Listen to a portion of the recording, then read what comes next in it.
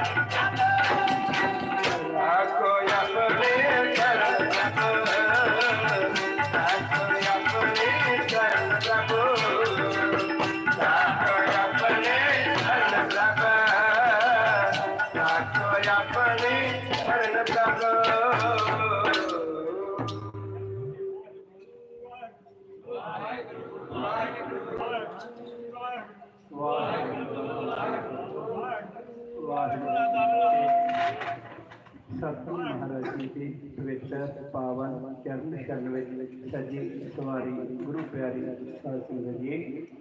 ਧੰਨਾ ਧੰਨਾ ਸ੍ਰੀ ਗੁਰੂ ਨਾਨਕ ਦੇਵ ਜੀ ਮਹਾਰਾਜ। ਗੁਰੂ ਸਾਹਿਬ ਦੀਆਂ ਮਿਹਰਾਂ ਵਰਤ ਰਹੀਆਂ ਨੇ, ਕਲਾ ਵਰਤ ਰਹੀ ਹੈ, ਸੰਗਤਾਂ ਜੁੜੀਆਂ ਬੈਠੀਆਂ ਨੇ। ਨਾਲ ਨਾਲ ਜਿੱਥੇ ਗੁਰੂ ਜੀ ਲੰਗਰ ਵਰਤਦੇ ਨੇ, ਉਹਦੇ ਲਾਗੇ ਨਸ਼ਾ ਛਡਾਊ ਕਰਨ ਵੀ ਲੱਗਾ ਹੋਇਆ ਹੈ ਜੀ। ਜੋ ਵੀ ਕਿਸੇ ਪ੍ਰਕਾਰ ਦਾ ਵੀ ਨਸ਼ਾ ਕਰਦੇ ਨੇ ਉਹ ਇਸ ਕੈਂਪ ਤੇ ਪਹੁੰਚ ਕੇ ਦਵਾਈ ਲੈ ਸਕਦੇ ਨੇ ਜੀ, ਇਹ ਦਵਾਈ ਬਿਲਕੁਲ ਮੁਫਤ ਮਿਲਦੀ ਆ ਇਹਦਾ ਕੋਈ ਵੀ ਪੈਸਾ ਨਹੀਂ ਲੱਗਦਾ। ਜਥੇ ਵੱਲੋਂ ਸਰਬੰਸ ਮਾਈ ਭਾਈ ਨੂੰ ਦੋਵੇਂ ਹੱਥ ਜੋੜ ਕੇ ਹੈ ਜੀ, ਜੋ ਵੀਰ ਭੈਣ ਅਜੇ ਤੱਕ ਗੁਰੂ ਵਾਲੇ ਨਹੀਂ ਬਣੇ, ਜਿਹੜੇ ਅਜੇ ਵੀ ਲਗੁਰੇ ਬੈਠੇ ਨੇ, ਜਿਨ੍ਹਾਂ ਨੇ ਖੰਡੇ ਬੱਟੇ ਦਾ ਮਤ ਨਹੀਂ ਛਕਿਆ, ਤੋ ਪਿਆਰਿਓ ਇਸ ਨਾਲ ਰਹਿਣ ਵਾਲੇ ਸਰੀਰ ਦਾ ਕੋਈ ਭਰੋਸਾ ਨਹੀਂ।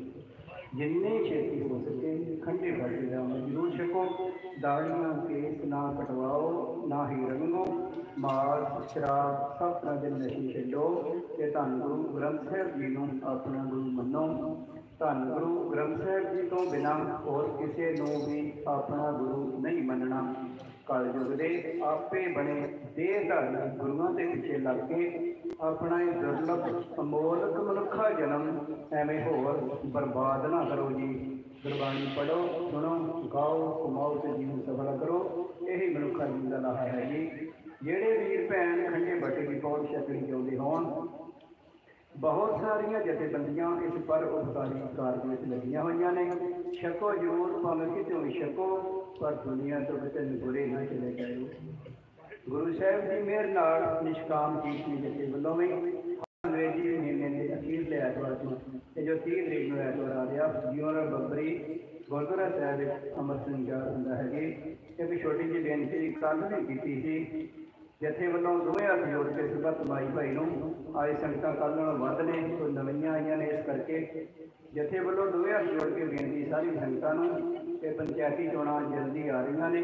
ਕਿਰਪਾ ਕਰਕੇ ਇਹ ਵੋਟਾਂ ਪਾ ਕੇ ਨਹੀਂ, ਸਰਬਸੰਮਤੀ ਨਾਲ ਪੰਚਾਇਤਾਂ ਬਣਾਓ ਧੜੇਬੰਦੀ ਖਤਮ ਹੋਵੇ, ਆਪਸੀ ਵੈਰ ਵਿਰੋਧ ਖਤਮ ਹੋਵੇ ਤੇ ਪਿੰਡ ਦਾ ਵੀ ਕੁਝ ਬਣੇ, ਸਾਡਾ ਵੀ ਕੁਝ ਬਣੇ। ਬਿਮਾਰੀਆਂ, ਮੁਕੱਦਮਿਆਂ ਤੋਂ, ਝਗੜਿਆਂ ਤੋਂ, ਥਾਣੇ ਤੋਂ, ਆਪਾਂ ਬਚ ਜਾਈਏ। ਤੇ ਸਾਡਾ ਵੀ ਪਤਾ ਹੋਵੇ, ਜਿਹੜਾ ਜ਼ਿੰਦਗੀ ਦਾ ਸਮਾਂ ਸਤਿਗੁਰੂ ਬਾਰੇ ਨੇ ਬਖਸ਼ਿਆ ਹੈ, ਇਹ ਆਪਣਾ ਗੁਰੂ ਵਾਲੇ ਪਾਸੇ ਲਾਈਏ। ਤੇ ਇਸ਼ਤਿਹਾਰੇ ਸੰਬੰਧ ਵਿੱਚ ਕੁਝ ਪਾਏ ਨੇ ਜਿੱਤੇ ਵੱਲੋਂ, ਜਿੱਥੇ ਮੱਥਾ ਟੇਕ ਰਹੇ ਗੁਰੂ ਸਾਹਿਬ ਦੇ ਸਾਹਮਣੇ ਪਏ ਨੇ। ਉਹ ਆਪੋ ਆਪਣੇ ਪਿੰਡਾਂ ਵਿੱਚ ਜਾ ਕੇ ਚਮਕਾ ਦਿਓ ਗੰਢਾਂ ਤੇ ਇਹ ਇੱਕ ਦੋ ਦੋ ਜਾ ਕੇ ਲੈ ਲਓ। ਤੇ ਖੋਰਿਆ ਇੱਕ ਦਾ ਦਾ ਮਨ ਬਦਲ ਜਾਵੇ, ਤੇ ਇਹਨਾਂ ਦਾਸਾਂ ਦੀ ਜਥੇ ਦੀ ਇਹ ਕਹਾਣੀ ਜੋ ਹੈ ਸਫਲੀ ਹੋਈ ਜਾਏਗੀ। ਤੇ ਆਪਾਂ ਝੁੱਕ ਕੇ ਹੋਰ ਤੋਂ ਛੱਡ ਕੇ ਘਉ ਮਉ ਕਰਨਾ, ਆਕੜਾ ਫਕੜਾ ਛੱਡ ਕੇ, ਗੁਰੂ ਨਾਨਕ ਦੇ ਦਰ ਤੇ ਝੁੱਕ ਜਾਈਏ। ਕਹਿੰਦੇ ਗੁਰੂ ਸਾਹਿਬ ਦਾ ਹੁਕਮ ਆ ਕਿ ਤੇਰੇ ਢਹਿਣ ਵਿੱਚ ਦੇਰੀ ਆ, ਗੁਰੂ ਨਾਨਕ ਦੇ ਬਖਸ਼ਣ ਵਿੱਚ ਜਰਾ ਆਸਾ ਵੀ ਨਹੀਂ। ਆਪਾਂ ਦੋਵੇਂ ਹੱਥ ਜੋੜ ਕੇ ਖੰਡੇ ਬੈਠ ਕੇ ਅੰਮ੍ਰਿਤ ਛਕ ਕੇ ਗੁਰੂਆਂ ਦੇ ਬਣ ਜਾਈਏ ਤੇ ਭਾਵੇਂ ਦੇਰ ਆਏ, ਦ੍ਰਿਸ਼ਟ ਆਏ ਤੇ ਆ ਕੇ ਆਖੀਏ, ਮਾਨ ਕਰੋ ਤੁਹਾਡੇ ਉੱਪਰੇ ਮੇਰੇ ਪ੍ਰੀਤਮ ਪਿਆਰੇ, ਹਮ ਅਪਰਾਧੀ ਸਦ ਭੂਲਤੇ ਤਮ ਬਖਸ਼ਣ ਹਾਰੇ। ਵਾਹਿਗੁਰੂ, ਕਿਹੜੇ ਪਿੰਡ ਦੀ ਇੱਕ ਢੇਸੀਆਂ ਦੀ ਕਹਿੰਦੇ ਕੁੜੀ ਕਿਤੇ ਮਾਪਿਆਂ ਨਾਲ ਵਿਛੜ ਗਈ ਆ। ਪੰਜ ਕੁ ਸਾਲ ਦੀ ਆ। ਜਿੱਥੇ ਕਿਤੇ ਕਿਸੇ ਵੀਰ ਨੂੰ ਪਤਾ ਹੋਵੇ ਸਟੇਜ ਤੇ ਬਚਾ ਦੇਣੀ ਤੋਂ ਆ ਕੇ ਲੈ ਜਾਣਗੇ, ਉੱਥੇ ਸੰਭਾਲ ਜੋ ਲੈ ਕੇ ਪਤਾ ਲੱਗ ਜੂਗਾ। ਵਾਹਿਗੁਰੂ ਜੀ ਕਾ ਖਾਲਸਾ ਵਾਹਿਗੁਰੂ ਜੀ ਕੀ ਫਤਿਹ।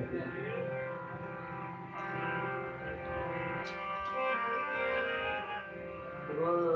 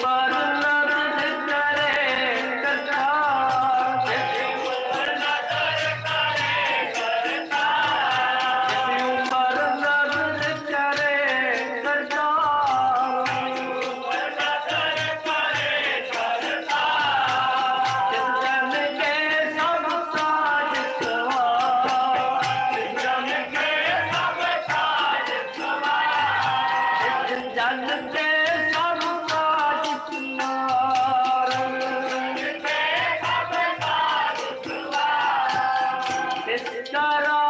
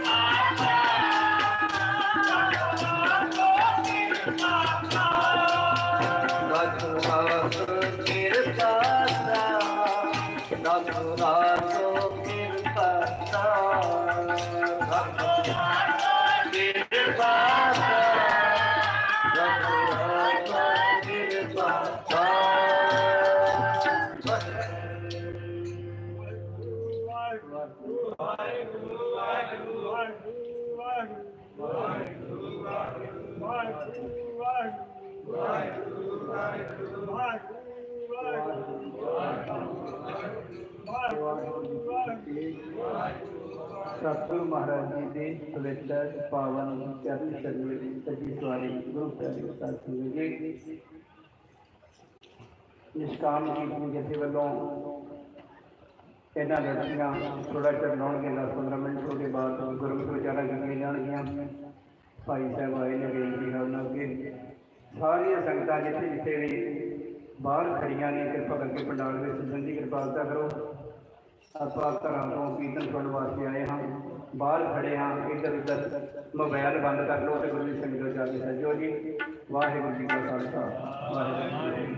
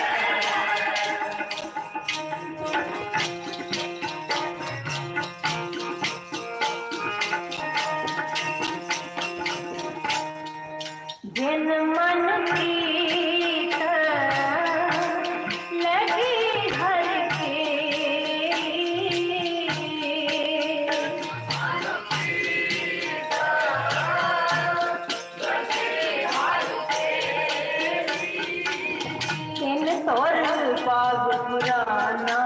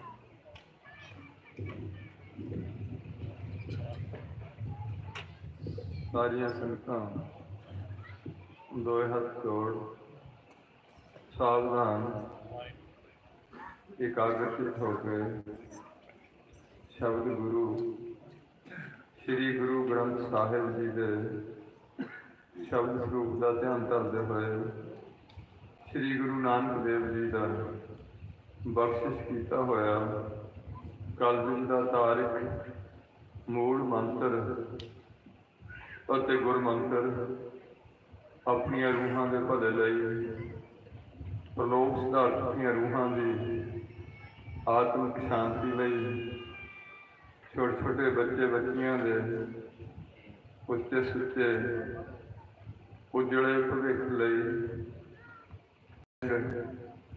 ਸਮੁੱਚਾ ਸਮਾਜ ਤੇ ਸਿੱਖ ਪੰਥ ਦੀ ਚੜ੍ਹਦੀ ਕਲਾ ਲਈ ਭਾਰਤ ਦੇਸ਼ ਦੀ ਤਰੱਕੀ, ਸਾਰੇ ਸੰਸਾਰ ਵਿੱਚ ਅਮਨ ਸ਼ਾਂਤੀ ਦੀ ਸਥਾਪਨਾ ਲਈ ਇਹਨਾਂ ਮੰਤਰਾਂ ਦੇ ਜਾਪ ਜਪੀਏ ਜੀ। ਇੱਕ ਓੰਕਾਰ ਸਤਨਾਮ। ਕਰਤਾ ਪੁਰਖ। ਨਿਰਭਉ। ਨਿਰਵੈਰ ਅਕਾਲ ਮੂਰਤ। ਅਜੂਨੀ ਸੈਭੰ ਗੁਰ ਪ੍ਰਸਾਦ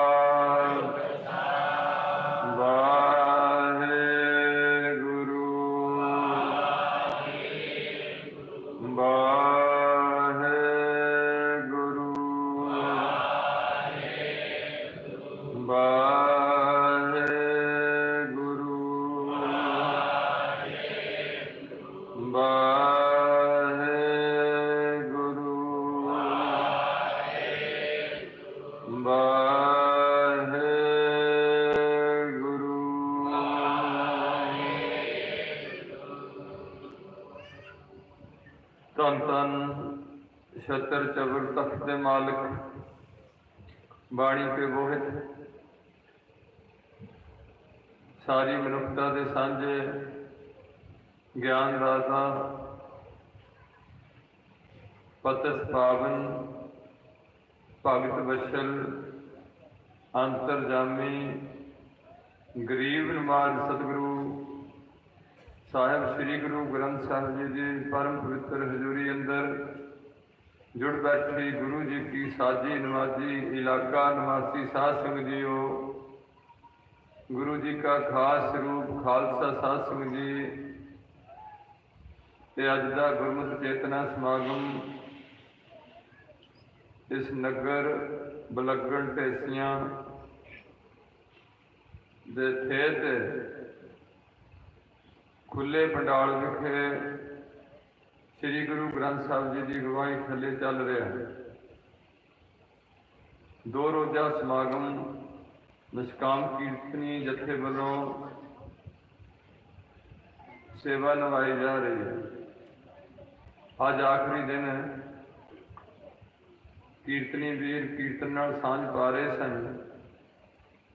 ਉਸ ਕੀਰਤਨ ਨੂੰ ਪ੍ਰੋਜੈਕਟਰ ਰਾਹੀਂ ਪੜ੍ਹਦੇ ਤੇ ਭੇਜ ਕੇ ਮਗਰ ਬੋਲਣ ਤੇ ਸਮਝਣ ਦੀ ਸਹੂਲਤ ਗੁਰੂ ਪਾਤਸ਼ਾਹ ਨੇ ਬਖਸ਼ਿਸ਼ ਕੀਤੀ। ਪ੍ਰਬੰਧਕੀ ਵੀਰਾਂ ਨੇ ਕਾਫੀ ਲਾਈਟ ਦਾ ਪ੍ਰਬੰਧ ਕੀਤਾ। ਗੁਰੂ ਕੇ ਲੰਗਰ, ਪਾਰਕਿੰਗ ਨਾਲ ਨਾਲ ਜੋੜਾ ਘਰ, ਅੱਛੀ ਸਾਊਂਡ ਲਿਆਉਣ ਦਾ ਇੰਤਜ਼ਾਮ ਕੀਤਾ ਹੋਇਆ ਹੈ। ਇਸ ਦੇ ਨਾਲ ਨਾਲ ਗੁਰੂ ਕੇ ਸੰਗਤਾਂ ਲਈ ਹੋਰ ਵੀ ਸਹੂਲਤਾਂ ਦਾ ਇੰਤਜ਼ਾਮ ਕੀਤਾ ਗਿਆ ਹੈ। ਕੀਰਤਨੀ ਵੀਰਾਂ ਦਾ ਹੋਮ ਕੀਰਤਨ ਦੀ ਸੇਵਾ ਨਿਭਾਈ ਜਾ ਰਹੀ ਸੀ। ਥੋੜੇ ਚਿਰ ਲਈ ਦਾਸ ਨੂੰ ਆਪ ਜੀ ਦੀ ਸੇਵਾ ਸੇਵਾ ਨਿਭਾਉਣ ਦਾ ਹੁਕਮ ਹੋਇਆ। ਦਾਸ ਕੋਈ ਜ਼ਿਆਦਾ ਕਥਾਵਾਚਕ ਵਿਦਵਾਨ ਜਾਂ ਕੋਈ ਗਿਆਨੀ, ਢਾਡੀ, ਰਾਗੀ ਜਾਂ ਸੰਤ, ਐਸਾ ਕੋਈ ਵੀ ਲਖਬ ਦਾਸ ਦੀ ਜ਼ਿੰਦਗੀ ਵਿੱਚ ਪ੍ਰਮਾਤਮਾ ਨਾਮ ਬਖਸ਼ੇ। ਕੇਵਲ ਤੁਹਾਡੇ ਚਰਨਾਂ ਦੀ ਧੂੜ ਮਿਲਦੀ ਰਹੇ। ਜੋ ਜੀਵਨ ਦਾ ਸਿਧਾਂਤ ਗੁਰੂ ਪਾਤਸ਼ਾਹ ਦੇ ਰਹੇ ਨੇ ਕਿ ਧਰਮ ਦੀ ਕਿਰਤ ਕਰਨੀ, ਪਰਮਾਤਮਾ ਦਾ ਨਾਮ ਜਪਣਾ, ਵੰਡ ਕੇ ਛਕਣਾ, ਤਿੰਨ ਸਿਧਾਂਤ, ਪੂਜਾ ਅਕਾਲ ਦੀ ਕਰਨੀ ਗੁਰੂ ਕੇ ਸਿੱਖਾਂ ਨੇ ਕਦੇ ਵੀ ਕਿਸੇ ਮੜੀ ਨਿਸ਼ਾਨ ਜਠੇਰੇ ਕਬਰ ਦੇ ਧਾਰੀ ਜਾਂ ਕਿਸੇ ਹੋਰ ਵੀ ਜਿਹੜੇ ਜੰਤਰ ਮੰਤਰ ਧਾਗੇ ਤਵੀਤਾਂ ਵਾਲੇ ਬੰਦੇ ਨੇ, ਖੂਨ ਦੇ ਛਿੱਟੇ ਪਾਉਣ ਵਾਲੇ ਬੰਦੇ ਨੇ, ਕਿਸੇ ਵੀ ਬੰਦੇ ਨੇ ਐਸੇ ਬੰਦਿਆਂ ਦੇ ਹੱਥ ਦਾ ਖਾਣਾ ਨਹੀਂ, ਉਹਨਾਂ ਦੇ ਦਰਸ਼ਨ ਕਰਨੇ ਤੱਕ ਪਾਸੇ ਰਹੇ। ਉਹਨਾਂ ਦੀ ਇੱਕ ਸੰਗਤ ਨਹੀਂ ਕਰਨੀ। ਇਹ ਹੈ ਪੂਜਾ ਅਕਾਲ ਦੀ ਕਰਨੀ। ਭਾਵ ਜਿਸ ਅਕਾਲ ਵਾਹਿਗੁਰੂ ਨੇ ਇਹ ਪੰਜ ਤੱਤਾਂ ਦੀ ਸ੍ਰਿਸ਼ਟੀ ਰਚੀ ਹੈ, ਜਿਸ ਨੇ ਇਸ ਧਰਤੀ ਵਿੱਚ ਇੱਕੋ ਵਾਰ ਜੋ ਪਾਇਆ ਹੈ, ਜੋ ਕੁਝ ਪਾਇਆ ਸੀ, ਇੱਕਾ ਵਾਰ ਆਸਨ ਲੋਏ ਲੋਏ ਭੰਡਾਰ ਕੀਤਾ ਹੋਇਆ ਹੈ। ਜੋ ਵੀ ਪਦਾਰਥ ਮਿਲਦੇ ਨੇ, ਇਸ ਧਰਤੀ ਵਿੱਚੋਂ ਪ੍ਰਾਪਤ ਹੋ ਰਹੇ ਨੇ, ਇਹ ਧਰਤੀ ਸਾਡਾ ਗੰਧ ਮੂਤਰ ਸਾਰਾ ਆਪਣੀ ਜਗੋਦ ਵਿੱਚ ਲੈ ਕੇ ਸਾਨੂੰ ਪਦਾਰਥ ਕੱਢ ਕੇ ਦੇ ਰਹੀ ਹੈ। ਉਸ ਧਰਤੀ ਦੀ, ਪਾਣੀ ਦੀ, ਸੂਰਜ ਦੀ, ਹਵਾ ਦੀ ਜਿਹਨਾਂ ਦੀ ਸਾਰੀ ਮਨੁੱਖਤਾ ਨੂੰ ਲੋੜ ਹੈ, ਇਹ ਜਿਨ੍ਹਾਂ ਪੰਜ ਤੱਤ ਤਿਆਰ ਕੀਤੇ ਨੇ 83 ਲੱਖ ਜੂਨ ਤਿਆਰ ਕੀਤੀ ਹੋਈ ਹੈ, ਉਸ ਅਕਾਲ ਪੁਰਖ ਦੀ ਸਿੱਖ ਨੇ ਪੂਜਾ ਕਰਨੀ ਹੈ। ਪੂਜਾ ਕਾਲ ਦੀ, ਪਰਚਾ ਸ਼ਬਦ ਦਾ ਗੁਰੂ ਕੇ ਸਿੱਖਾਂ ਨੇ ਗੁਰਬਾਣੀ ਤੋਂ ਬਿਨਾ ਮਨ ਨੂੰ ਪਰਚਾਉਣ ਵਾਸਤੇ ਟੀਵੀ ਲਾ ਕੇ ਫਿਲਮਾਂ ਨਹੀਂ ਦੇਖਣੀਆਂ। ਮਨ ਨੂੰ ਪਰਚਾਉਣ ਵਾਸਤੇ ਗੰਦੇ ਗਾਣੇ ਨਹੀਂ ਸੁਣਨੇ। ਮਨ ਨੂੰ ਪਰਚਾਉਣ ਲਈ ਨਸ਼ਿਆਂ ਦਾ ਸੇਵਨ ਨਹੀਂ ਕਰਨਾ। ਮਨ ਨੂੰ ਪਰਚਾਉਣ ਲਈ ਕੋਈ ਹੋਰ ਐਸੇ ਜੂਏ ਆਦਿਕ ਤਾਸ਼ਾਂ ਦਾ ਖੇਡ ਨਹੀਂ ਖੇਡਣੀ।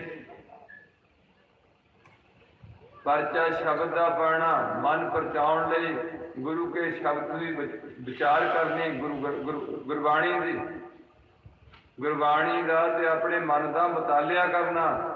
ਮੇਰਾ ਮਨ ਕਿੱਧਰ ਨੂੰ ਜਾ ਰਿਹਾ ਤੇ ਗੁਰਬਾਣੀ ਕਿੱਧਰ ਨੂੰ ਤੋਰ ਰਹੀ ਹੈ? ਇਹ ਇਹਨਾਂ ਦਾ ਤਾਲਮੇਲ ਬਣਾ ਕੇ ਰੱਖਣਾ। ਇਹ ਹੈ ਪਰਚਾ ਸ਼ਬਦ ਦਾ। ਦੀਦਾਰ ਖਾਲਸੇ ਸਾਧ ਸੰਗਤ ਦਾ। ਕੇਵਲ ਗੁਰਸਿੱਖਾਂ ਦਾ ਹੀ ਦਰਸ਼ਨ ਦੀਦਾਰੇ ਕਰਨੇ ਨੇ। ਇਹ ਹੈ ਛੇ ਸਿਧਾਂਤ। ਗੁਰੂ ਪਾਤਸ਼ਾਹ ਬਖਸ਼ਿਸ਼ ਕਰਨ ਇਹਨਾਂ ਦੇ ਵਿੱਚ ਵਿੱਚ ਆਪਣੇ ਜੀਵਨ ਦਾ ਸਫ਼ਰ ਬਤੀਤ ਹੋ ਜਾਏ, ਐਸੀ ਅਸੀਸ ਬਖਸ਼ਦੇ ਰਹੋ।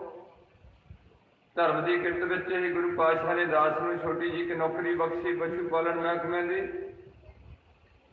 ਉਸ ਨੌਕਰੀ ਦੇ ਦੌਰਾਨ ਵਿੱਚ ਦੋ ਬਜ਼ੁਰਗਾਂ ਦੀ ਸੰਗਤ ਨਸੀਬ ਹੋਈ। ਪਹਿਲਾ ਨਸ਼ਹਿਰੇ ਵਾਲੇ ਬਜ਼ੁਰਗਾਂ ਦੀ ਸੰਗਤ ਨਸੀਬ ਹੋਈ 2 2.5 ਮਹੀਨੇ। ਉਸ ਤੋਂ ਬਾਅਦ ਘੁੰਮਣ ਵਾਲੇ ਬਜ਼ੁਰਗਾਂ ਦੀ ਸੰਗਤ ਨਸੀਬ ਹੋਈ ਕੁਝ ਲੰਮਾ ਸਮਾਂ। ਇਹਦੇ ਨਾਲ ਨਾਲ ਖੰਡੇ ਬਾਟੇ ਦੀ ਪੌੜ ਛਕੀ ਗਈ। ਪੰਜਾਂ ਪਿਆਰਿਆਂ ਤੋਂ ਅਕਾਲ ਤਖਤ ਤੋਂ ਜੋ ਸਿਧਾਂਤ ਦਿੱਤਾ ਜਾਂਦਾ, ਰਹਿਤ ਮਰਿਆਦਾ ਦਾ ਉਹ ਧਾਰਨ ਕੀਤਾ। ਉਸ ਤੋਂ ਬਾਅਦ ਗੁਰੂ ਪੰਥ ਬਾਰੇ ਸੋਚਣਾ ਕੀਤਾ।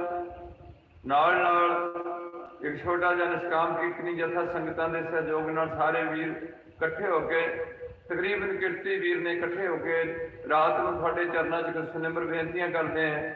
ਉਸੇ ਲੜੀ ਵਿੱਚ ਅੱਜ ਦੀ ਬੇਨਤੀ ਆਪ ਜੀ ਦੇ ਚਰਨਾਂ 'ਚ ਕਰਨੀ। ਸੋ ਸਭ ਤੋਂ ਪਹਿਲਾਂ ਆਪ ਜੀ ਸੀਸ ਬਖਸ਼ੋ ਗੁਰੂ ਪਾਤਸ਼ਾਹ ਰਹਿਮਤ ਕਰਨ। ਮੇਰੇ ਗੁਰੂ ਗੁਰਦੇਵ। ਟਿੰਗਲ ਪਰਬਤ ਪਾਰ ਪਰੇ ਖਲ ਚਤੁਰ ਮੁਕੀਤਾ। ਗੁਰੂ ਪਾਤਸ਼ਾਹ ਰਹਿਮਤ ਕਰਕੇ ਗੁਰੂ ਹਰਕ੍ਰਿਸ਼ਨ ਸਾਹਿਬ ਜੀ ਦਿੱਲੀ ਨੂੰ ਜਾ ਰਹੇ ਨੇ।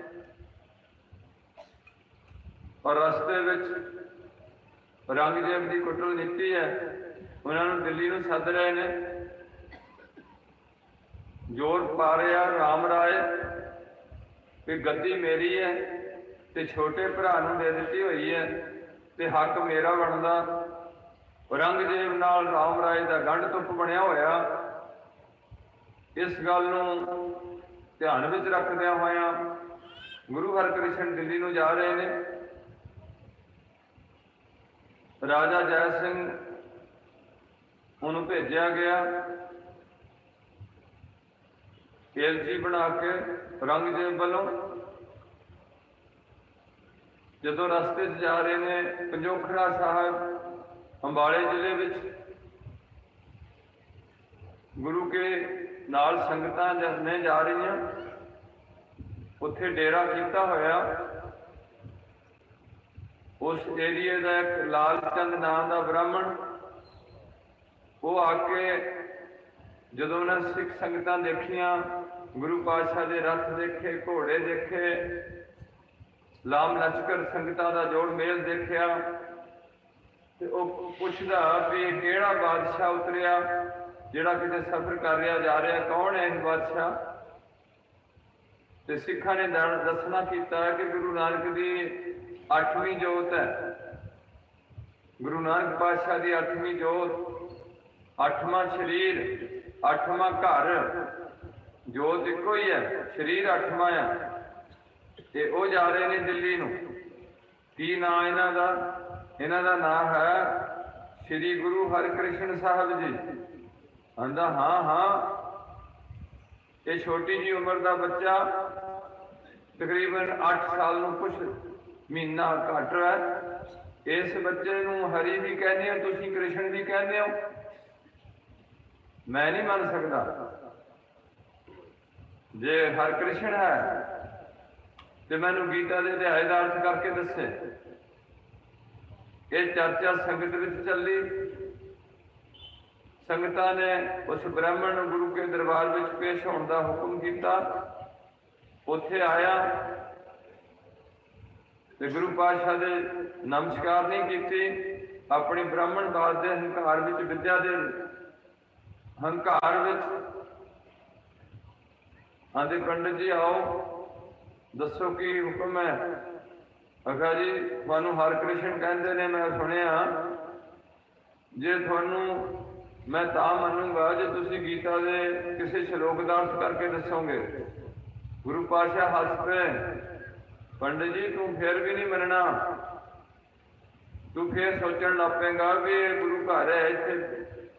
ਭਾਈ ਗੁਰਦਾਸ ਜੀ ਵਰਗੇ ਵੇਦ ਵਿਆਸ ਨੇ, ਬੜੇ ਬੜੇ ਸਿਆਣੇ ਸਿੱਖ ਨੇ, ਉਹਨਾਂ ਕੋਲ ਕੋਈ ਵਿਦਿਆ ਲਈ ਹੈ। ਜਾਓ ਜੇ ਤੁਹਾਨੂੰ ਗੁਰੂ ਨਾਨਕ ਦੀ ਗੱਦੀ ਤੇ ਸ਼ੱਕ ਪੈਂਦਾ ਤੇ ਆਪਣੇ ਪਿੰਡ ਵਿੱਚੋਂ, ਆਪਣੇ ਇਲਾਕੇ ਚੋਂ ਕੋਈ ਬੰਦਾ ਲੈ ਕੇ ਆਓ, ਜਿਹਨੂੰ ਤੁਸੀਂ ਜਾਣਦੇ ਹੋ। ਵੀ ਇਹ ਬੰਦਾ ਅਰਥ ਨਹੀਂ ਕਰ ਸਕਦਾ। ਐਸਾ ਬੰਦਾ ਲੈ ਕੇ ਆਓ। ਬਾਣਾ ਵਰਤਣਾ ਸੀ। ਤੇ ਪੰਡਿਤ ਜੀ ਹੋਰ ਖੁਸ਼ ਹੋਏ ਕਿ ਹੁਣ ਮੈਨੂੰ ਚੰਗੇ ਤਰੀਕੇ ਨਾਲ ਇਹਨਾਂ ਦੀ ਤਸੱਲੀ ਹੋਊਗੀ। ਉਹ ਆਪਣੇ ਪਿੰਡ ਵਿੱਚੋਂ ਛੱਜੂ ਨਾਮੇ ਝੀਉਰ ਨੂੰ ਲੈ ਕੇ ਆ ਗਿਆ। ਜਿਹੜਾ ਨਾ ਬੋਲ ਸਕਦਾ ਸੀ ਤੇ ਨਾ ਸੁਣ ਸਕਦਾ ਸੀ। ਐਸਾ ਬੰਦਾ ਲੈ ਕੇ ਆ ਗਿਆ। ਅਮੂਮਨ ਪਿੰਡਾਂ 'ਚ ਇੱਕ ਦੋ ਬੰਦੇ ਐਸੇ ਹੁੰਦੇ ਨੇ। ਉਹਨੂੰ ਪਿੰਡ ਵਾਲੇ ਵੀ ਨਾਲ ਇਕੱਠੇ ਕਰ ਲਿਆ ਆ ਵੀ ਆਓ ਅੱਜ ਤੁਹਾਨੂੰ ਕਿ ਤਮਾਸ਼ਾ ਦਿਖਾ ਲਈਏ।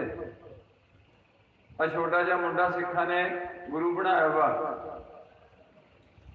ਤੇ ਜਦੋਂ ਗੁਰੂ ਦਰਬਾਰ ਵਿੱਚ ਪਹੁੰਚੇ, ਆਂਦੇ ਪੰਡਿਤ ਜੀ ਲੈ ਕੇ ਆ ਗਏ ਬੰਦੇ ਨੂੰ, ਮੈਂ ਕਿਹਾ ਹਾਂਜੀ ਇਸ ਬੰਦੇ ਕੋਲੋਂ ਅਰਥ ਕਰਾ ਦਿਓ। ਗੁਰੂ ਪਾਤਸ਼ਾਹ ਨੇ ਕਿਰਪਾ ਦ੍ਰਿਸ਼ਟੀ ਕੀਤੀ, ਅੰਮ੍ਰਿਤ ਦ੍ਰਿਸ਼ਟ ਵੇਖਿਆ ਹੋਏ ਸੰਤ।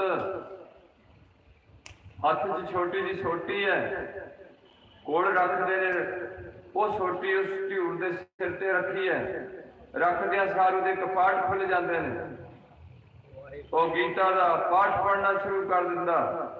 ਜਿਸ ਤਰੀਕੇ ਦਾ ਉਹਨਾਂ ਪ੍ਰੋਨਾਂਸੀਏਸ਼ਨ ਉਚਾਰਨ ਕੀਤਾ ਇਦਾਂ ਦਾ ਉਚਾਰਨ ਪੰਡਿਤ ਨੂੰ ਵੀ ਨਹੀਂ ਸੀ ਆਂਦਾ ਫਿਰ ਉਹਨਾਂ ਅਰਥ ਕਰਨੇ ਸ਼ੁਰੂ ਕੀਤੇ। ਜਿਹੜੇ ਅਰਥ ਡੁੰਗਾਈ ਵਿੱਚ ਉਸ ਗੁਰੂ ਪਾਤਸ਼ਾਹ ਦੀ ਰਹਿਮਤ ਨਾਲ ਹੋਏ ਨੇ, ਪੰਡਿਤ ਇੱਕ ਦੋ ਸ਼ਲੋਕਾਂ ਦੇ ਅਰਥ ਸੁਣ ਕੇ ਦੰਗ ਹੋ ਗਿਆ ਵੀ ਬੰਦਾ ਤਾਂ ਉਹੀ ਆ ਸਾਡੇ ਪਿੰਡ ਦਾ। ਫਿਰ ਪੰਡਿਤ ਦਾ ਹੰਕਾਰ ਟੁੱਟਿਆ, ਢਹਿ ਕੇ ਚਰਨੀ ਪੈ ਗਿਆ ਸੋ ਐਸਾ ਹੈ ਗੁਰੂ ਨਾਨਕ ਦਾ ਦਰ ਹੈ ਤੇ ਦਾਸ ਵਰਗੇ ਗੁੰਗੇ ਬੋਲਿਆਂ ਕੋਲੋਂ ਆਪਣੇ ਵਿਚਾਰ ਕਰਵਾ ਲੈਂਦੇ ਨੇ। ਸੋ ਆਪ ਜੀ, ਸੀਸ ਬਖਸ਼ਦੇ ਹੋਏ ਫਤਿਹ ਬੁਲਾਓ। ਵਾਹਿਗੁਰੂ ਜੀ ਕਾ ਖਾਲਸਾ। ਵਾਹਿਗੁਰੂ ਜੀ ਕੀ ਫਤਿਹ।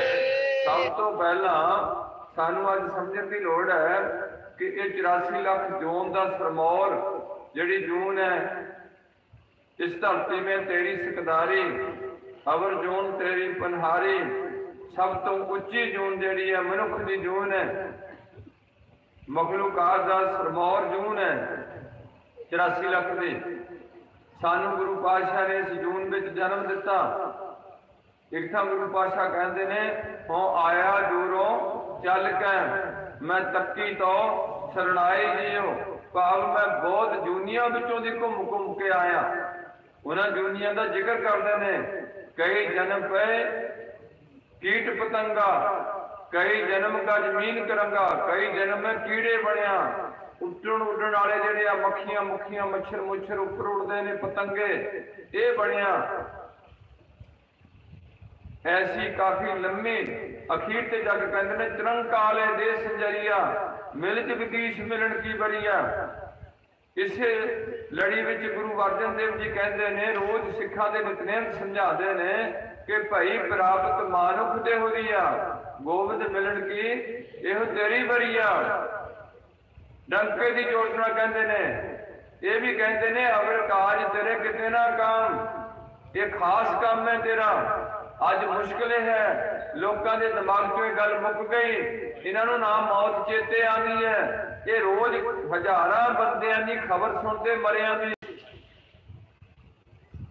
ਇਹ ਤਕਰੀਬਨ ਸਾਡੇ ਪਿੰਡਾਂ 'ਚ ਦੂਜੇ ਚੌਥੇ ਮਹੀਨੇ ਦੇ ਵਿੱਚ ਵਿੱਚ ਕੋਈ ਨਾ ਕੋਈ ਮੌਤ ਹੁੰਦੀ ਹੈ। ਉੱਥੇ ਬੰਦੇ ਦੀ ਲਾਸ਼ ਛੜਦੀ ਦੇਖਦੇ ਨੇ, ਅੱਗ ਲੱਗੀ ਦੇਖਦੇ ਨੇ, ਲਾਗਿਓ ਲੰਘ ਜਾਂਦੇ ਨੇ। ਇਹ ਬੁੱਧੀ ਤੇ ਮਾਇਆ ਦਾ ਇੰਨਾ ਡੀਪਲੀ ਪ੍ਰਭਾਵ ਪੈ ਚੁੱਕਿਆ। ਮਾਇਆ ਐਸੀ ਮੋਹਣੀ ਭਾਈ ਜੇਤੇ ਜੀ ਤੇਤੇ ਡਹਕਾਈ, ਇਹਨਾਂ ਨੂੰ ਆਪਣੀ ਮੌਤ ਨਹੀਂ ਸੁਝਦੀ। ਇਸ ਲੜੀ ਵਿੱਚ ਗੁਰੂ ਤੇਗ ਬਹਾਦਰ ਸਾਹਿਬ ਇੱਕ ਸ਼ਬਦ ਦੀ ਸਾਂਝ ਪਾਦੇ ਨੇ, ਆਪ ਜੀ ਸਮਝਣਾ ਕਰੀਏ ਜੀ। ਗੁਰੂ ਪਾਸ਼ਾ ਸ਼ੁਰੂ ਕਰਦੇ ਨੇ, ਬੀਤ ਜਾ ਬੀਤ ਜਾ, ਜਨਮ ਆਕਾਜ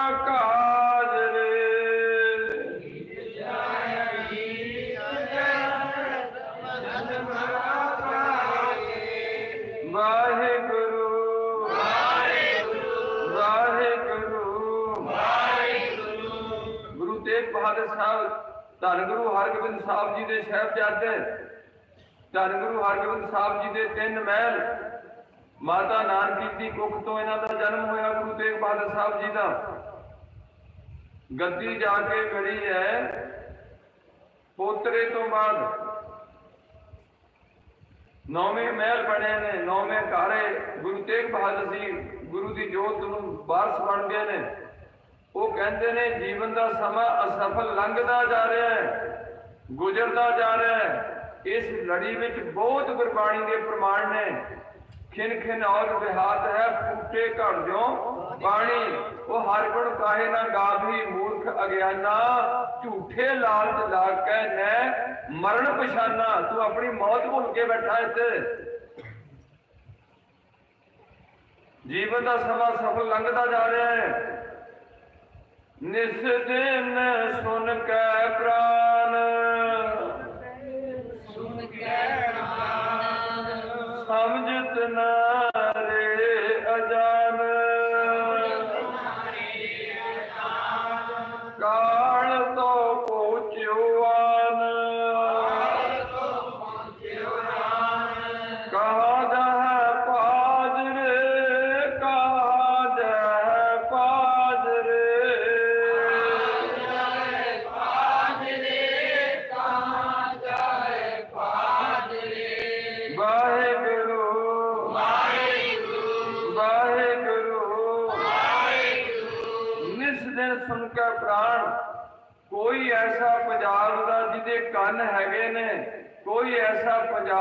ਸਿੱਖਾਂ ਦਾ ਤਕਰੀਬਨ 7 ਸਾਲ ਤੋਂ ਉੱਪਰ ਕੋਈ ਬੰਦਾ ਬੇਟੀ ਨਹੀਂ ਹੋਣੀ, ਜਿਨ੍ਹਾਂ ਅੱਜ ਤੱਕ ਗੁਰਦੁਆਰੇ ਵਿੱਚੋਂ ਇਹ ਗੱਲਾਂ ਨਾ ਸੁਣੀਆਂ ਹੋਣ।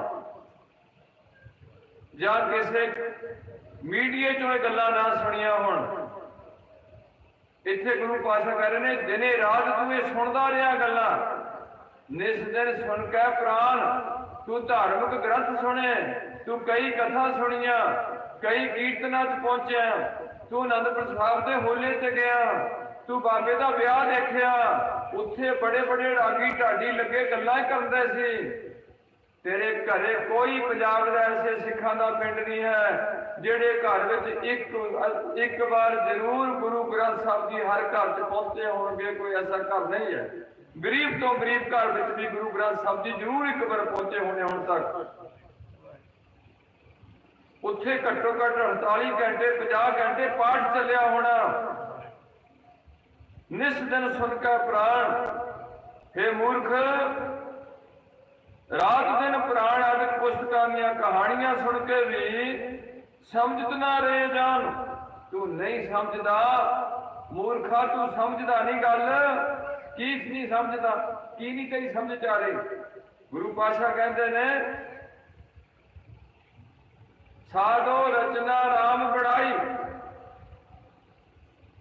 ਉਹ ਗੁਰਸਿੱਖੋ ਗੁਰ- ਗੁਰੂ ਪਿਆਰਿਓ ਆ ਜਿਹੜੀ ਰਚਨਾ ਰਚੀ ਹੋਈ ਹੈ ਸੰਸਾਰ ਦੀ, ਐਵੇਂ ਨਹੀਂ ਗੱਲ ਚੱਲੀ ਹੈ ਕਿਸੇ ਦੀ ਬਣਾਈ ਬਣੀ ਹੈ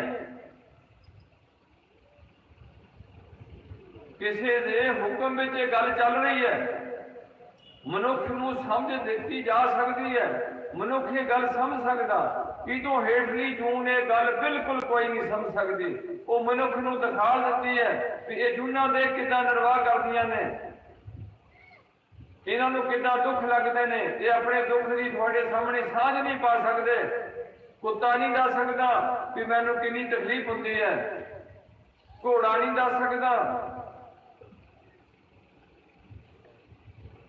ਕਿ ਮੇਰਾ ਕਿੰਨਾ ਦਰਦ ਹੁੰਦੀ ਹੈ?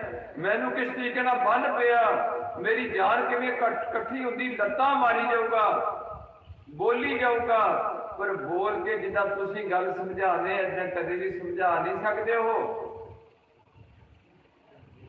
ਸਮਝ ਨਾ ਰਹੇ ਜਾਨ। ਉਹ ਮੂਰਖਾ, ਤੂੰ ਗੱਲ ਨਹੀਂ ਸਮਝੀ? ਕੀ ਗੱਲ? ਕਾਲ ਤੋਂ ਪਹੁੰਚਿਓ ਆਨ ਮੌਤ ਦਾ ਸਮਾਂ ਤਾਂ ਨੇੜੇ ਆ, ਪਹੁੰਚਿਆ ਜਿਹੜਾ ਜੀ ਲੈ ਜੀ ਲੈ ਜਿਹੜਾ ਬਾਕੀ ਕਿਸੇ ਨੂੰ ਕੋਈ ਪਤਾ ਨਹੀਂ, ਤਿੰਨਾਂ ਗੱਲਾਂ ਦਾ ਆਮ ਕੁਦਰਤ ਨੇ ਆਪਣੇ ਹੱਥ 'ਚ ਭੇਦ ਰੱਖਿਆ। ਇੱਕ ਭੇਦ ਰੱਖਿਆ ਹੋਇਆ, ਅਸੀਂ ਇੱਕ ਦੂਜੇ ਦਾ ਦਿਲ ਦੀ ਗੱਲ ਨਹੀਂ ਜਾਣ ਸਕਦੇ। ਕੇਵਲ ਪਗੰਬਰ, ਅਵਤਾਰ, ਪੁਰਸ਼ ਹੀ ਇਹ ਗੱਲ ਜਾਣ ਸਕਦਾ ਵੀ ਇਹਨਾਂ ਲੋਕਾਂ ਦੇ ਹਿਰਦੇ ਵਿੱਚ ਕੀ ਗੱਲ। ਹੈ ਜਾਂ ਅੰਤਰਜਾਮੀ ਕਾਲਪੁਰਖ ਵਾਹਿਗੁਰੂ ਜਾਣਦਾ ਪਤਨੀ ਨੂੰ ਨਹੀਂ ਪਤਾ ਮੇਰਾ ਪਤੀ ਬਾਹਰ ਕੀ ਕਰਦਾ। ਪਤੀ ਨੂੰ ਨਹੀਂ ਪਤਨਾ, ਪਤਾ ਵੀ ਮੇਰੀ ਪਤਨੀ ਘਰੇ ਕੀ ਕੰਮ ਕਰਦੀ ਹੈ। ਕਿੰਨਾ ਚਿਰ ਉਹਦੀ ਸੋਚ ਠੀਕ ਰਹਿੰਦੀ ਹੈ, ਕਿੰਨਾ ਚਿਰ ਉਹਦੀ ਸੋਚ ਗਲਤ ਹੋ ਜਾਂਦੀ ਹੈ। ਇਹ ਨਹੀਂ ਪਤਾ ਲੱਗਦਾ। ਮਾਂ ਨੂੰ ਧੀ ਦਾ ਨਹੀਂ ਪਤਾ। ਇਹ ਪੜਦਾ ਕੁਦਰਤ ਨਾ ਪਾਇਆ, ਇੱਕ ਦੂਜੇ ਦੀ ਮੈਮਰੀ ਪੂਰੀ ਫੋਲੋ ਨਹੀਂ ਕੀਤੀ ਜਾ ਸਕਦੀ। ਜੱਜ ਨਹੀਂ ਸਾਡੀ ਮੈਮਰੀ ਪੂਰੀ ਫੋਲੋ ਕਰ ਸਕਦਾ। ਪੁਲਿਸ ਕੁੱਟ-ਕੁੱਟ ਕੇ ਸਾਡੇ ਕੋਲੋਂ ਸਹੀ ਗੱਲ ਕਢਾ ਨਹੀਂ ਸਕਦੀ। ਜੇ ਕੱਢਣੀ ਆ ਛੋਟੀ ਮੋਟੀ ਕੋਈ ਗੱਲ ਕੱਢ ਦਿੱਤੀ, ਪੂਰੀ ਗੱਲ ਕਦੇ ਵੀ ਸਾਡੇ ਅੰਦਰੋਂ ਕੋਈ ਨਹੀਂ ਕੱਢ ਸਕਦਾ। ਸਾਡੇ ਅੰਦਰ ਸਾਨੂੰ ਸਾਰਿਆਂ ਨੂੰ ਪਤਾ ਵੀ ਮੇਰੀ ਕਰਤੂਤ ਕੀ ਹੈ ਤੇ ਸਾਨੂੰ ਹਰ ਇੱਕ ਨੂੰ ਪਤਾ। ਜਾਂ ਗੱਲ ਵਾਹਿਗੁਰੂ ਜਾਣਦਾ। ਦੂਜਾ ਪੜਦਾ ਇੱਥੇ ਰੱਖਿਆ ਵਾ ਕਿ ਆਉਣ ਵਾਲੀ ਘੜੀ ਕਿਦਾਂ ਦੀ ਆ ਜਾਣੀ ਹੈ, ਇਹ ਵੀ ਹਰ ਬੰਦੇ ਨੂੰ ਨਹੀਂ ਪਤਾ ਲੱਗਦਾ। ਇਹ ਦੂਜਾ ਪੜਦਾ ਆ ਮਨੁੱਖਤਾ ਚ ਇਹ ਵੀ ਮੇਰੇ ਗੁਰੂ ਪਾਤਸ਼ਾਹ ਜਾਣਦੇ ਨੇ। ਉਹ ਪਹਿਲਾਂ ਕਹਿ ਰਹੇ ਨੇ, ਲਾਲੋ, ਇਸ ਐਮਨਾਬਾਦ ਵਿੱਚ ਕਤਲੋ ਗਾਲਤ ਹੋਣੀ ਹੈ। ਬਾਬਰ ਨੇ ਚੜ ਕੇ ਆਣਾ ਬਾਬਰ ਬਾਣੀ ਫਿਰ ਗਈ, ਕੋਈ ਨਾ ਰੋਟੀ ਖਾਏ। ਇਹ ਸਹਿਦਪੁਰ ਚ ਇਹ ਹਾਲਤ ਹੋ ਜਾਣੀ ਹੈ। ਕਾਫੀ ਲੰਮਾ ਸਮਾਂ ਪਹਿਲਾਂ ਦੱਸ ਰਹੇ ਨੇ, ਫਿਰ ਸਨ ਦੱਸ ਰਹੇ ਨੇ, ਆਣ 78 ਜਾਣ 97 78ਵੇਂ ਸਨ ਵਿੱਚ ਆਊਗਾ ਤੇ 97 ਚ ਲੁੱਟ ਖੋ ਕਰਕੇ ਮੁੜ ਕੇ ਜਾਊਗਾ ਕਾਬਲ ਨੂੰ। ਇਹ ਉਹਨਾਂ ਨੂੰ ਸੋਝੀ ਹੁੰਦੀ ਹੈ, ਪੈਗੰਬਰਾਂ ਨੂੰ, ਅਵਤਾਰਾਂ ਨੂੰ ਪਤਾ ਹੁੰਦਾ ਵੀ ਆਉਣ ਵਾਲੇ ਸਮੇਂ 'ਚ ਕੀ ਹੋਣਾ। ਤਦ ਹੀ ਪੰਥ ਤੋੜਿਆ ਜਾਂਦਾ ਤਦ ਹੀ ਲੋਕਾਂ ਨੂੰ ਕਿਸੇ ਡਿਸਪਲਿਨ 'ਚ ਬੰਨਿਆ ਜਾਂਦਾ, ਉਹਨਾਂ ਨੂੰ ਤੀਜੀ ਗੱਲ ਜਿਹੜੀ ਹੈ, ਉਹ ਇਹ ਹੈ ਵੀ ਸਾਨੂੰ ਹਜੇ ਨਹੀਂ ਪਤਾ ਵੀ ਮਰ ਕੇ ਰੂਹ ਕਿਹੜੇ ਰਸਤੇ ਕਿੱਧਰ ਨੂੰ ਜਾਂਦੀ। ਆਮ ਲੋਕਾਂ ਨੂੰ ਇਹ ਗੱਲ ਦਾ ਨਹੀਂ ਪਤਾ। ਜੇ ਇਹਨਾਂ ਨੂੰ ਪਤਾ ਲੱਗ ਜਾਏ ਤਾਂ ਕੰਮ ਕਰਨ ਜੋਗੇ ਨਾ ਰਹਿਣ। ਜੇ ਇਹਨਾਂ ਦੇ ਅੱਗੇ ਪਰਦਾ ਚੁੱਕ ਦਿੱਤਾ ਜਾਏ ਕਿ ਮੌਤ ਤੋਂ ਅਗਲਾ ਸਫ਼ਰ ਕਿੱਦਾਂ ਦਾ? ਤੇ ਬੇਸ਼ੱਕ ਇਹ ਬੰਦੇ ਹੋਗੇ ਲੈ ਲੈ ਕੇ ਮਰ ਜਾਣ। ਪਰ ਇਹਨਾਂ ਤੇ ਮਾਇਆ ਦਾ ਅਸਰ ਪਾਇਆ ਹੋਇਆ। ਇਹਨਾਂ ਨੂੰ ਇਹ ਗੱਲ ਭੁਲਾ ਦਿੱਤੀ ਹੋਈ ਹੈ।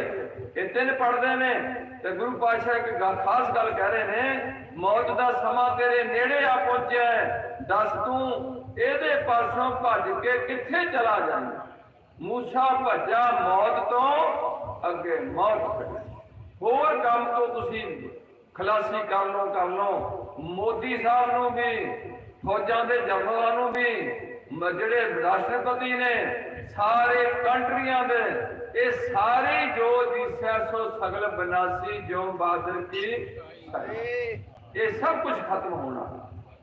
ਪਰ ਬੰਦੇ ਨੂੰ ਯਕੀਨ ਨਹੀਂ ਆਉਂਦਾ। ਬਸ ਆਹ ਇਹ ਮਾਇਆ।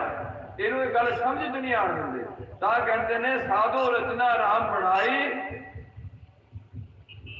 ਇੱਕ ਵ- ਇੱਕ ਵਿਰਸਾ ਇੱਕ ਆਸ਼ਰਮਾਨ ਹੈ, ਅਚਰਜ ਲਿਖੋ ਇੱਕ ਬੰਦਾ ਮਰ ਰਿਹਾ ਤੇ ਦੂਜਾ ਬੰਦਾ ਦਾ ਮੈਂ ਨਹੀਂ ਜੇ ਮਰਨਾ। ਇਹ ਨਾ ਮਰਨਾ ਸੀ ਮਰ ਗਿਆ, ਮੈਂ ਨਹੀਂ ਜੇ ਮਰਨਾ। ਠੀਕ ਆ, ਇਹਦਾ ਅਸਲਾ ਨਹੀਂ ਮਰਨਾ, ਪਰ ਇਹਦਾ ਸਰੀਰ ਨਹੀਂ ਰਹਿਣਾ, ਜਿਹਦੇ ਸਰੀਰ ਦਾ ਹੰਕਾਰ ਕਰਦਾ ਇਹਦੇ ਜਿਹੜੇ ਮਾੜੇ ਚੰਗੇ ਕਰਮ ਕਰਦਾ ਹੰਕਾਰ ਵਿੱਚ ਆ ਕੇ, ਇਹ ਚੀਜ਼ ਸਰੀਰ ਨਹੀਂ ਰਹਿਣਾ, ਕਰਮ ਇਹਦੇ ਨਾਲ ਚੱਲਣੇ ਹੈ ਉਹੀ ਗੱਲ ਗੁਰੂ ਪਾਤਸ਼ਾਹ ਜੀ ਕਹਿ ਰਹੇ ਨੇ ਅਸਰ ਜੋ ਮਾਨਿਓ ਦੇ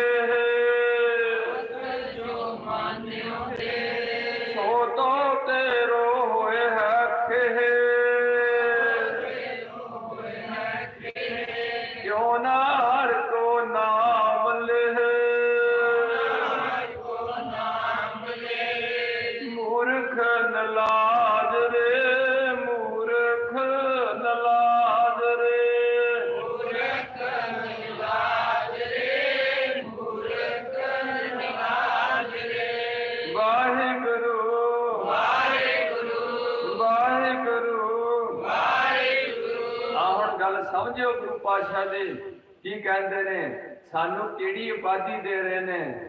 ਸਾਨੂੰ ਬਹੁਤ ਹੀ ਨਲਾਜ ਮੈਨੇ ਬੇਸ਼ਰਮ। ਓ ਬੇਸ਼ਰਮਾ, ਓ ਮੂਰਖਾ, ਇਹ ਤੂੰ ਗੱਲ ਕਿਉਂ ਨਹੀਂ ਸਮਝਦਾ? ਇੰਨਾ ਜ਼ੋਰ ਲਾ ਰਹੇ ਨੇ ਸਮਝਾਉਣ ਵਾਸਤਾ। ਕੀ ਕਹਿੰਦੇ ਨੇ? ਅਸਤਰ ਜੋ ਮਾਨਿਓ ਦੇ, ਜਿਸ ਆਪਣੇ ਸਰੀਰ ਨੂੰ ਤੂੰ ਸਦਾ ਕਾਇਮ ਰਹਿਣ ਵਾਲਾ ਸਮਝੀ ਬੈਠਾ ਹੈ ਤੇਰਾ ਉਹ ਸਰੀਰ ਤਾਂ ਜ਼ਰੂਰ ਸੁਆਹ ਹੋ ਚਾਹੇ ਮਿੱਟੀ 'ਚ ਕੀੜੇ ਖਾ ਲੈਣਗੇ ਚਾਹੇ ਸਰੀਰ ਨੂੰ ਪਾਣੀ ਸੁੱਟ ਦੋਗੇ ਡੱਡੂ ਮੱਛੀ ਖਾ ਜਾਣਗੇ ਜਿਹਦਾ ਤੂੰ ਅੱਜ ਮਾਣ ਕਰਦੇ ਹੋ ਫਰੀਦ ਸਾਹਿਬ ਜਾ ਰਹੇ ਨੇ ਇੱਕ ਛੋਟੀ ਜਿਹੀ ਸਾਖੀ ਹੈ ਇੱਕ ਕਰੰਗ ਦੇਖਿਆ ਕਰੰਗ ਦੇ ਜਿਹੜਾ ਮਨੁੱਖਾ ਕਰੰਗ ਹੈ, ਉਹਦੀਆਂ ਜਿਹੜੀਆਂ ਅੱਖਾਂ ਦੇ ਗੋਲ ਆਂਦੇ ਨੇ, ਹੱਡ ਦੇ ਬਣੇ ਨੇ, ਇਹਦੇ ਵਿੱਚ ਜਾਨਵਰਾਂ ਨੇ, ਪੰਛੀਆਂ ਨੇ ਆਲਣਾ ਬਣਾਇਆ ਹੋਇਆ। ਆਲਣਾ ਜਦੋਂ ਬਣਾਉਂਦੇ ਉਹ ਤੀਨ ਦੇ ਵਿੱਚ ਠੋਕ ਠੋਕ ਕੇ ਆਲਣਾ ਬਣਾ ਲੈਂਦੇ ਫਰੀਦ ਸਾਹਿਬ ਜਦੋਂ ਲੰਘੇ ਨੇ ਦਿਵ ਦ੍ਰਿਸ਼ਟੀ ਨਾਲ ਦੇਖਿਆ, ਕੀ ਦੇਖਦੇ ਨੇ? ਇਹ ਜਿਹੜੀ ਬੀਬੀ ਹੈ, ਉਹ ਲੇਡੀਜ਼ ਦਾ ਕਰਮ ਹੈ। ਤੇ ਜਿਹੜੀ ਬੀਬੀ ਹੈ, ਇਹ ਹੈਗੀ ਸੀ ਇੱਕ ਬੇਸ਼ਵਾ ਕੰਜਰੀ ਸੀ। ਪਿੱਛੇ ਦੇਖਦੇ ਹੋ ਕਿਉਂਕਿ ਇਹਨਾਂ ਲੋਕਾਂ ਨੂੰ ਜੋ ਸਾਨੂੰ ਨਹੀਂ ਦਿਖਦਾ, ਇਹਨਾਂ ਨੂੰ ਉਹ ਚੀਜ਼ਾਂ ਦਿਖਦੀਆਂ ਇਹਨਾਂ ਨੂੰ ਅੱਗੇ ਵੀ ਦਿਖਦਾ, ਪਿੱਛੇ ਵੀ ਦਿਖਦਾ। ਇਹਨਾਂ ਨੂੰ ਪਤਾ ਵੀ ਇਹ ਪਹਿਲੀ ਜੂਨ ਕੀ ਸੀ। ਹੁਣ ਇਹ ਕਦੇ ਚ ਆ ਗਿਆ? ਇਸ ਕਰਕੇ ਕਈ ਥਾਈ ਐਸੀਆਂ ਸਾਖੀਆਂ ਤੁਸੀਂ ਦੇਖੋਗੇ, ਗੁਰੂ ਸਾਹਿਬ ਕਹਿਣਗੇ ਵੀ ਇਹ ਜਿਹੜਾ ਸੱਪ ਹੈ, ਇਹ ਜਿਹੜਾ ਪਹਿਲਾਂ ਮਹੰਤ ਬਣ ਕੇ, ਬਾਬਾ ਬਣ ਕੇ ਲੋਕਾਂ ਨੂੰ ਮਗਰ ਲਾ ਕੇ ਇਹਨਾਂ ਦੀ ਪੂਜਾ ਦੇ ਧਾਰ ਖਾਂਦਾ ਰਿਹਾ, ਇਹ ਉਹ ਸੱਪ ਹੈ। ਅੱਜ ਨੇ ਇਹਦੇ ਚ ਕੀੜੇ ਨਿਕਲਦੇ ਨੇ, ਇਹਦੇ ਚੇਲੇ ਨੇ। ਹੁਣ ਇਹਦਾ ਮਾਸ ਨੋਚ ਨੋਚ ਕੇ ਖਾਂਦੇ ਨੇ। ਉਹਨਾਂ ਨੂੰ ਅੱਗਾ ਵੀ ਲੱਭਦਾ ਹੁੰਦਾ ਤੇ ਪਿੱਛਾ ਵੀ ਲੱਭਦਾ ਹੁੰਦਾ। ਇਸ ਕਰਕੇ ਗੁਰੂ ਪਾਤਸ਼ਾਹ ਰਹਿਮਤ ਕਰਨ ਅਸੀਂ ਇਹਨਾਂ ਗੱਲਾਂ ਨੂੰ ਧਿਆਨ ਨਾਲ ਸੁਣ ਕੇ ਵਿੱਚ ਬਿਠਾ ਲਈਏ ਕਿਸੇ ਥਾਂ ਹੁਣ ਕਿਹੜੀ ਸਾਥੀ ਕੋਲ ਉਸ ਦੇ ਅੱਗੇ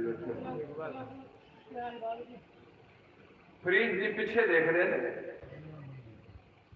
ਉਹ ਜਿਹੜੀ ਵਿਸ਼ਵਾ ਉਹ ਅੱਖ- ਅੱਖਾਂ 'ਚ ਸੁਰਮਾ ਪਾਉਣ ਵਾਸਤਾ ਆਪਣੀ ਗੋਲੀ ਨੂੰ ਕਹਿ ਰਹੀ ਹੈ ਕਿ ਸੁਰਮਾ, ਪਹਿਲਾ ਸੁਰਮਾ ਰਗੜਿਆ ਜਾਂਦਾ ਸੀ।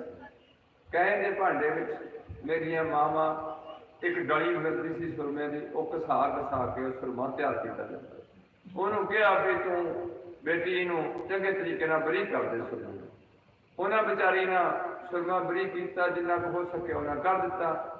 ਹੁਣ ਕਰਦਿਆਂ ਕਰਦਿਆਂ ਉਹਨਾਂ ਨੂੰ ਦਿੱਤਾ ਪਾਣ ਨੂੰ। ਜਦੋਂ ਉਹਨਾਂ ਪਾਇਆ ਸੁਰਮਾ ਉਹ ਬੇਸ਼ਵਾ ਨਾ, ਤੇ ਉਹ ਸੁਰਮੇ ਵਿੱਚ ਥੋੜੀ ਜੀ ਕਣੀ ਸੀ, ਉਹਦੀ ਅੱਖ ਵਿੱਚ ਰੜਕ ਪੈ ਗਈ। ਜਦੋਂ ਰੜਕ ਪੈ ਗਈ, ਉਹ ਉੱਠੀ ਉੱਠ ਕੇ ਉਹਨਾਂ ਇੱਕ ਛਮਕ ਫੜੀ ਉਸ ਬੇਟੀ ਦੀ, ਆਪਣੀ ਗੋਲੀ ਦੀ, ਉਸ ਸੇਵਾਦਾਰ ਦੀ, ਕੁੱਟ ਕੁੱਟ ਕੇ ਉਹਨੂੰ ਹਲਾਲ ਕਰਦਾ ਕਿ ਤੈਨੂੰ ਪਤਾ ਨਹੀਂ ਤੂੰ ਮੇਰੀ ਅੱਖਾਂ 'ਚ ਰੜਕ ਪੈਂਦੀ? ਤੇ ਫਰੀ ਜੀ ਉੱਥੇ ਦੇਖ ਕੇ ਉਹਨੂੰ ਕਰਨ ਨੂੰ ਦੇਖ ਕੇ ਹੱਸਣ ਦੇ ਕੀ ਕਹਿੰਦੇ? ਇਥੋਂ ਸ਼ਲੋਕ ਸ਼ੁਰੂ ਹੁੰਦਾ। ਫਰੀਦਾ ਜਿਨ ਲੋਇਣ ਜਗ ਮੋਹਿਆ ਸੇ ਲੋਇਣ ਮੈਂ ਬਿਠ ਕਜੜ ਰੇਖ ਨਾ ਸਹੰਦਿਆ ਪੰਖੀ ਸੋਇਨ ਬੈਠ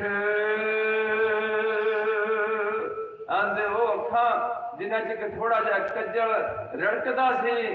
ਅੱਜ ਉਹਨਾਂ ਅੱਖਾਂ ਵਿੱਚ ਪੰਖੀਆਂ ਨਾਲ ਆਲਣੇ ਪਾਏ ਐ ਤੇ ਬਿਠਾ ਕੀਤੀਆਂ ਹਨ ਅੱਜ ਇਹ ਕਿਸੇ ਨੂੰ ਮਾਰਨ ਜੋਗੀ ਨਹੀਂ। ਹੈ ਇਹ ਕਹਿੰਦੇ ਨੇ, ਅਸਤਰ ਜੋ ਮਾਨਿਓ ਦੇ, ਸੋ ਤੋ ਤੇਰੋ ਹੋਏ ਹਰਖੇ ਜਿਸ ਆਪਣੇ ਸਰੀਰ ਨੂੰ ਤੂੰ ਸਦਾ ਕਹਿ ਰਹਿਣ ਬੜਾ ਸਮਝੀ ਥਾਂ ਸਰੀਰ ਦੀ ਸੰਭਾਲਣ ਕਰਨ ਦਾ ਇੱਕੋ ਮਕਸਦ ਹੈ। ਸਰੀਰ ਤੰਦਰੁਸਤ ਰਹੇ ਤੇ ਸਰੀਰ ਤੰਦਰੁਸਤ ਰਹੇ ਤੇ ਭਗਤੀ ਕਰੇ। ਜੇ ਸਰੀਰ ਤੰਦਰੁਸਤ ਹੈ ਤੇ ਸ਼ਰਾਬ ਪੀਂਦਾ ਆ, ਬੇਵਿਚਾਰੀ ਹੈ, ਬੇਈਮਾਨੀ ਕਰਦਾ, ਝੂਠ ਬੋਲਦਾ, ਠੱਗੀ ਮਾਰਦਾ ਆ, ਜਾਂ ਹੋਰ ਕਿਸੇ ਦਾ ਬੁਰਾ ਕਰਦਾ ਆ, ਤੇ ਐਸੇ ਤੰਦਰੁਸਤੀ ਨਾਲੋਂ ਬਿਮਾਰੀ ਚੰਗੀ। ਗੁਰੂ ਪਾਤਸ਼ਾਹ ਕਹਿੰਦੇ ਨੇ, ਨੈਣ ਨਾ ਦੇਖੇ ਸਾਥ ਸੇ ਨੈਣ ਵਿਹਾੜੇ ਜੇ ਅੱਖਾਂ ਗੁਰੂ ਕੀ ਬਾਣੀ ਦਾ ਦਰਸ਼ਨ ਨਹੀਂ ਕਰਦੀਆਂ, ਇਹ ਫਿਲਮਾਂ ਦੇਖਦੀਆਂ ਨੇ, ਇਹ ਧੀਆਂ ਦਾ ਰੂਪ ਧੀਆਂ, ਮੁੰਡਿਆਂ ਦਾ ਰੂਪ ਗਲਤ ਤਰੀਕੇ ਨਾਲ ਦੇਖਦੀਆਂ ਨੇ, ਮੁੰਡੇ ਕੁੜੀਆਂ ਦਾ ਰੂਪ ਗਲਤ ਤਰੀਕੇ ਨਾਲ ਦੇਖਦੇ ਨੇ, ਵਿਆਹ ਦਾ ਬੰਦੇ ਦੂਸਰੀਆਂ ਇਸਤਰੀਆਂ ਦਾ ਰੂਪ ਗਲਤ ਤਰੀਕੇ ਨਾਲ ਦੇਖਦੇ ਨੇ, ਤੇ ਵਿਆਹੀਆਂ ਮੇਰੀਆਂ ਮਾਮਾ ਭੈਣਾਂ, ਬੰਦਿਆਂ ਦਾ ਰੂਪ ਗਲਤ ਤਰੀਕੇ ਨਾਲ ਦੇਖਦੀਆਂ ਨੇ। ਕਹਿੰਦੇ, ਨੈਣ ਨਾ ਦੇਖਿਆ ਸਾਧ ਸੇ ਨੈਣ ਵਿਹਾਲਿਓ ਬਹਿ ਜਾਣੋ ਅੱਖਾਂ ਤਾਂ ਕਿ ਗਲਤ ਦੇਖ ਕੇ ਆਪਣੀ ਜ਼ਿੰਦਗੀ ਨੂੰ ਨਰਕਾਂ ਦੀ ਭਾਗੀ ਨਾ ਬਣਾਓ ਕਰਨ ਨ ਸੁਨਹੀ ਨਾਦ ਕਰ ਮੁੰਦ ਜੇ ਕੰਨ ਹਰੀ ਜਸ ਨਹੀਂ ਸੁਣਦੇ, ਇਹ ਨਿੰਦਿਆ ਸੁਣਦੇ ਨੇ। ਇਹ ਜਿਹੜੇ ਡੀਜਿਆਂ ਦੇ ਗੰਦੇ ਗਾਣੇ ਸੁਣਦੇ ਨੇ, ਇਹ ਫਿਲਮਾਂ ਦੇ ਗੰਦੇ ਸੌਂਗ ਸੁਣਦੇ ਨੇ, ਜਿਹਦੇ ਨਾਲ ਇਹਦੇ ਸ਼ਖਸ ਨੂੰ ਬੜਾਵਾ ਦਿੱਤਾ ਜਾ ਰਿਹਾ, ਜਾਂ ਇਹਨੂੰ ਬੇਈਮਾਨੀ ਵਾਸਤਾ ਉਤਸ਼ਾਹਤ ਕੀਤਾ ਜਾ ਰਿਹਾ, ਜਾਂ ਇਹਨੂੰ ਕੰਨਾਂ ਨਾਲ ਸੁਣ ਸੁਣ ਕੇ ਗੱਲਾਂ ਕਿਸੇ ਨੂੰ ਗੋਲੀਆਂ ਮਾਰਨ ਤੋਂ ਉਤਸ਼ਾਹਤ ਕੀਤਾ ਜਾ ਰਿਹਾ, ਜੇ ਗੱਲ ਨਿੰਦਿਆ ਐਸੇ ਚੁਗਲੀ ਸੁਣਦੇ ਨੇ, ਐਸੇ ਗਾਣੇ ਸੁਣਦੇ ਨੇ, ਤਾਂ ਕਹਿੰਦੇ ਨੇ, ਕਰਨ ਨਾ ਸੁਣੀ ਨਾਦ, ਕਰਨ ਮੁੰਦ ਕਾਲਿਆ ਉਹ ਕੰਨ ਬੰਦ ਕਰ ਦੇਣੇ ਚਾਹੀਦੇ, ਤਾਂ ਕਿ ਉਹ ਆਪਣੇ ਕਰਮਾਂ ਨੂੰ ਮਾੜੇ ਪਾਸੇ ਲਿਜਾ ਕੇ ਅੱਗੇ ਨਰਕਾਂ ਦੇ ਭਾਗੀ ਨਾ ਬਣ। ਤੀਜਾ ਪੁਆਇੰਟ ਦਿੱਤਾ ਹੈ। ਤਿੰਨੇ ਖਾਸ ਗਿੱਲਾਂ ਨੇ ਜਿਹੜੇ ਸਾਡੇ ਫੀਲਿੰਗ ਫੀਡਿੰਗ ਸੈਂਟਰ ਨੇ। ਇਹਨਾਂ ਤੇ ਗੁਰੂ ਜੀ ਨਾਲ ਖਾਸ ਤੌਰ ਤੇ ਉਂਝ ਸਾਡੇ ਪੰਜ ਗਿਆਨ ਇੰਦਰੇ ਨੇ, ਪਰ ਤਿੰਨ ਗਿਆਨ ਇੰਦਰੀਆਂ ਦਾ ਆਮ ਚਰਚਾ ਕੀਤੀ ਹੁੰਦੀ ਹੈ। ਆਨੰਦ ਸਾਹਿਬ ਵਿੱਚ ਵੀ ਇਹੋ ਚਰਚਾ ਕੀਤੀ ਹੈ। ਇਹ ਸਰਵਣੋ ਮੇਰਿਓ ਇਹ ਨੇਤਰੋ ਮੇਰਿਓ ਇਹ ਰਸਨਾ ਤੁਹਾਨੂੰ ਸਰਾਤ ਰਹੀ ਇੱਕ ਸੈਂਟਰ ਖਾਸ ਨੇ, ਜਿਹੜੇ ਜ਼ਿੰਦਗੀ ਦਾ ਬਹੁਤ ਹਿੱਸਾ ਇਹਦੇ ਅੰਦਰ ਮੈਮਰੀ ਚ ਪਾਈ ਜਾਂਦੇ ਨੇ ਫੀਡ ਕਰੀ ਜਾਂਦੇ ਨੇ। ਇਹਨਾਂ ਤਿੰਨਾਂ ਨੂੰ ਸੰਬੋਧਨ ਕਰਕੇ ਕਹਿੰਦੇ ਨੇ, ਰਸਨਾ ਜਪੈ ਨਾ ਨਾਮ, ਤਿਲ ਤਿਲ ਕਰ ਕੱਟੀਐ। ਜੇ ਰਸਨਾ ਪ੍ਰਮਾਤਮਾ ਨੇ ਦਿੱਤੀ ਹੈ, ਪ੍ਰਭੂ ਭਗਤੀ ਨਹੀਂ ਕਰਦੇ। ਪ੍ਰਭੂ ਭਗਤਾਂ ਦੀ ਸੋਹਤ ਨਹੀਂ ਕਰਦੀ, ਸੰਗਤ ਨਹੀਂ ਕਰਦੀ, ਸ਼ੋਭਤ ਨਹੀਂ ਕਰਦੀ। ਇਹ ਸੱਚ ਨਹੀਂ ਬੋਲਦੀ। ਜੇ ਸਵਾਦਾਂ ਤੋਂ ਬਾਜ ਨਹੀਂ ਆਦੀ ਸਵਾਦਾਂ ਨੂੰ ਲਈ ਕਰਦੀ ਹੈ। ਜੇ ਐਸੀ ਜਵਾਨ ਹੈ, ਇਸ ਪਾਸੇ ਚੱਲਦੀ ਹੈ, ਤੇ ਇਹਨੂੰ ਤਿਲ ਤਿਲ ਕਰਕੇ ਕੱਟ ਦੇਣਾ ਚਾਹੀਦਾ। ਇਹ ਨਹੀਂ ਕੱਟਣਾ। ਇੱਕ ਤਿਲ ਜਿੰਨਾ ਹਿੱਸਾ ਕਰ ਕਰਕੇ ਛੋਟੇ ਛੋਟੇ ਟੋਟੇ ਕਰ ਦੇਣੇ ਚਾਹੀਦੇ। ਰਸਨਾ ਜਪੇ ਨਾ ਨਾਮ ਦਿਲ ਦਿਲ ਕਰ ਕਟਿਏ ਹਰ ਹਾਂ ਜਬ ਵਿਸਰਿਆ ਗੋਬਿੰਦ ਰਾਏ, ਦਿਨੋਂ ਦਿਨ ਕਟਿਏ ਜਦੋਂ ਵੀ ਇਹਨੂੰ ਰੱਬ ਭੁੱਲ ਜਾਂਦਾ, ਇਹਨੂੰ ਘਾਟਾ ਹੀ ਪੈਂਦਾ ਜਾਂਦਾ, ਘਾਟਾ ਹੀ ਪੈਂਦਾ ਜਾਂਦਾ। ਪਰ ਬੰਦਾ ਇਸ ਘਾਟੇ ਨੂੰ ਕੋਈ ਵੀ ਨਹੀਂ ਸੋਚਦਾ ਵੀ ਮੈਨੂੰ ਕਿੰਨਾ ਘਾਟਾ ਪੈ ਰਿਹਾ, ਕਿੰਨਾ ਨਹੀਂ ਪੈ ਰਿਹਾ। ਇਸ ਕਰਕੇ ਤੇਰਾ ਉਹ ਸਰੀਰ ਤਾਂ ਜ਼ਰੂਰ ਸੁਆਹ ਹੋ ਜਾਏਗਾ। ਫੇ ਮੂਰਖਾ ਫੇ ਬੇਸ਼ਰਮਾ, ਤੂੰ ਕਿਉਂ ਪਰਮਾਤਮਾ ਦਾ ਨਾਮ ਨਹੀਂ ਜਪਦਾ? ਤੂੰ ਕਿਉਂ ਪਰਮਾਤਮਾ ਦਾ ਨਾਮ ਨਹੀਂ ਜਪਦਾ ਇਹ ਜੋ ਬਾਤ ਵਰਤੀ ਹਰ ਅਗਲੀ ਪੰਕਤੀ ਹੈ ਰਾਮ ਭਗਤ ਹੀਏ ਆਨ ਤੈ ਮਾਨ ਨਾਨਕ ਜਨ ਇਹ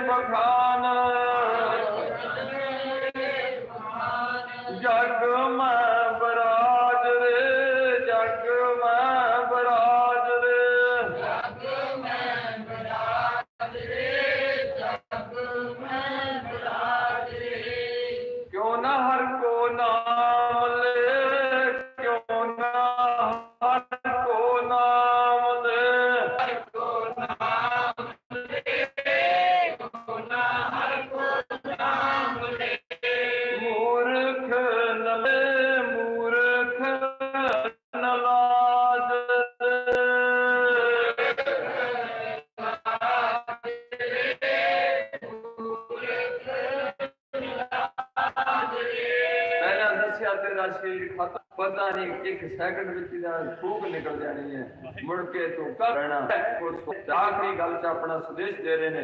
ਰਾਮ ਭਗਤ ਹੀ ਆਨ ਆਪਣੇ ਮਨ ਦਾ ਹੰਕਾਰ ਛੱਡ ਦੇ। ਛੱਡ ਦੇ ਤਾਂ ਮਨ ਕੋ ਇਹ ਹੰਕਾਰ ਤੈਨੂੰ ਬਾਰ-ਬਾਰ ਸਾਨੂੰ ਵੀ ਹੰਕਾਰ ਤੰਗ ਕਰੂਗਾ।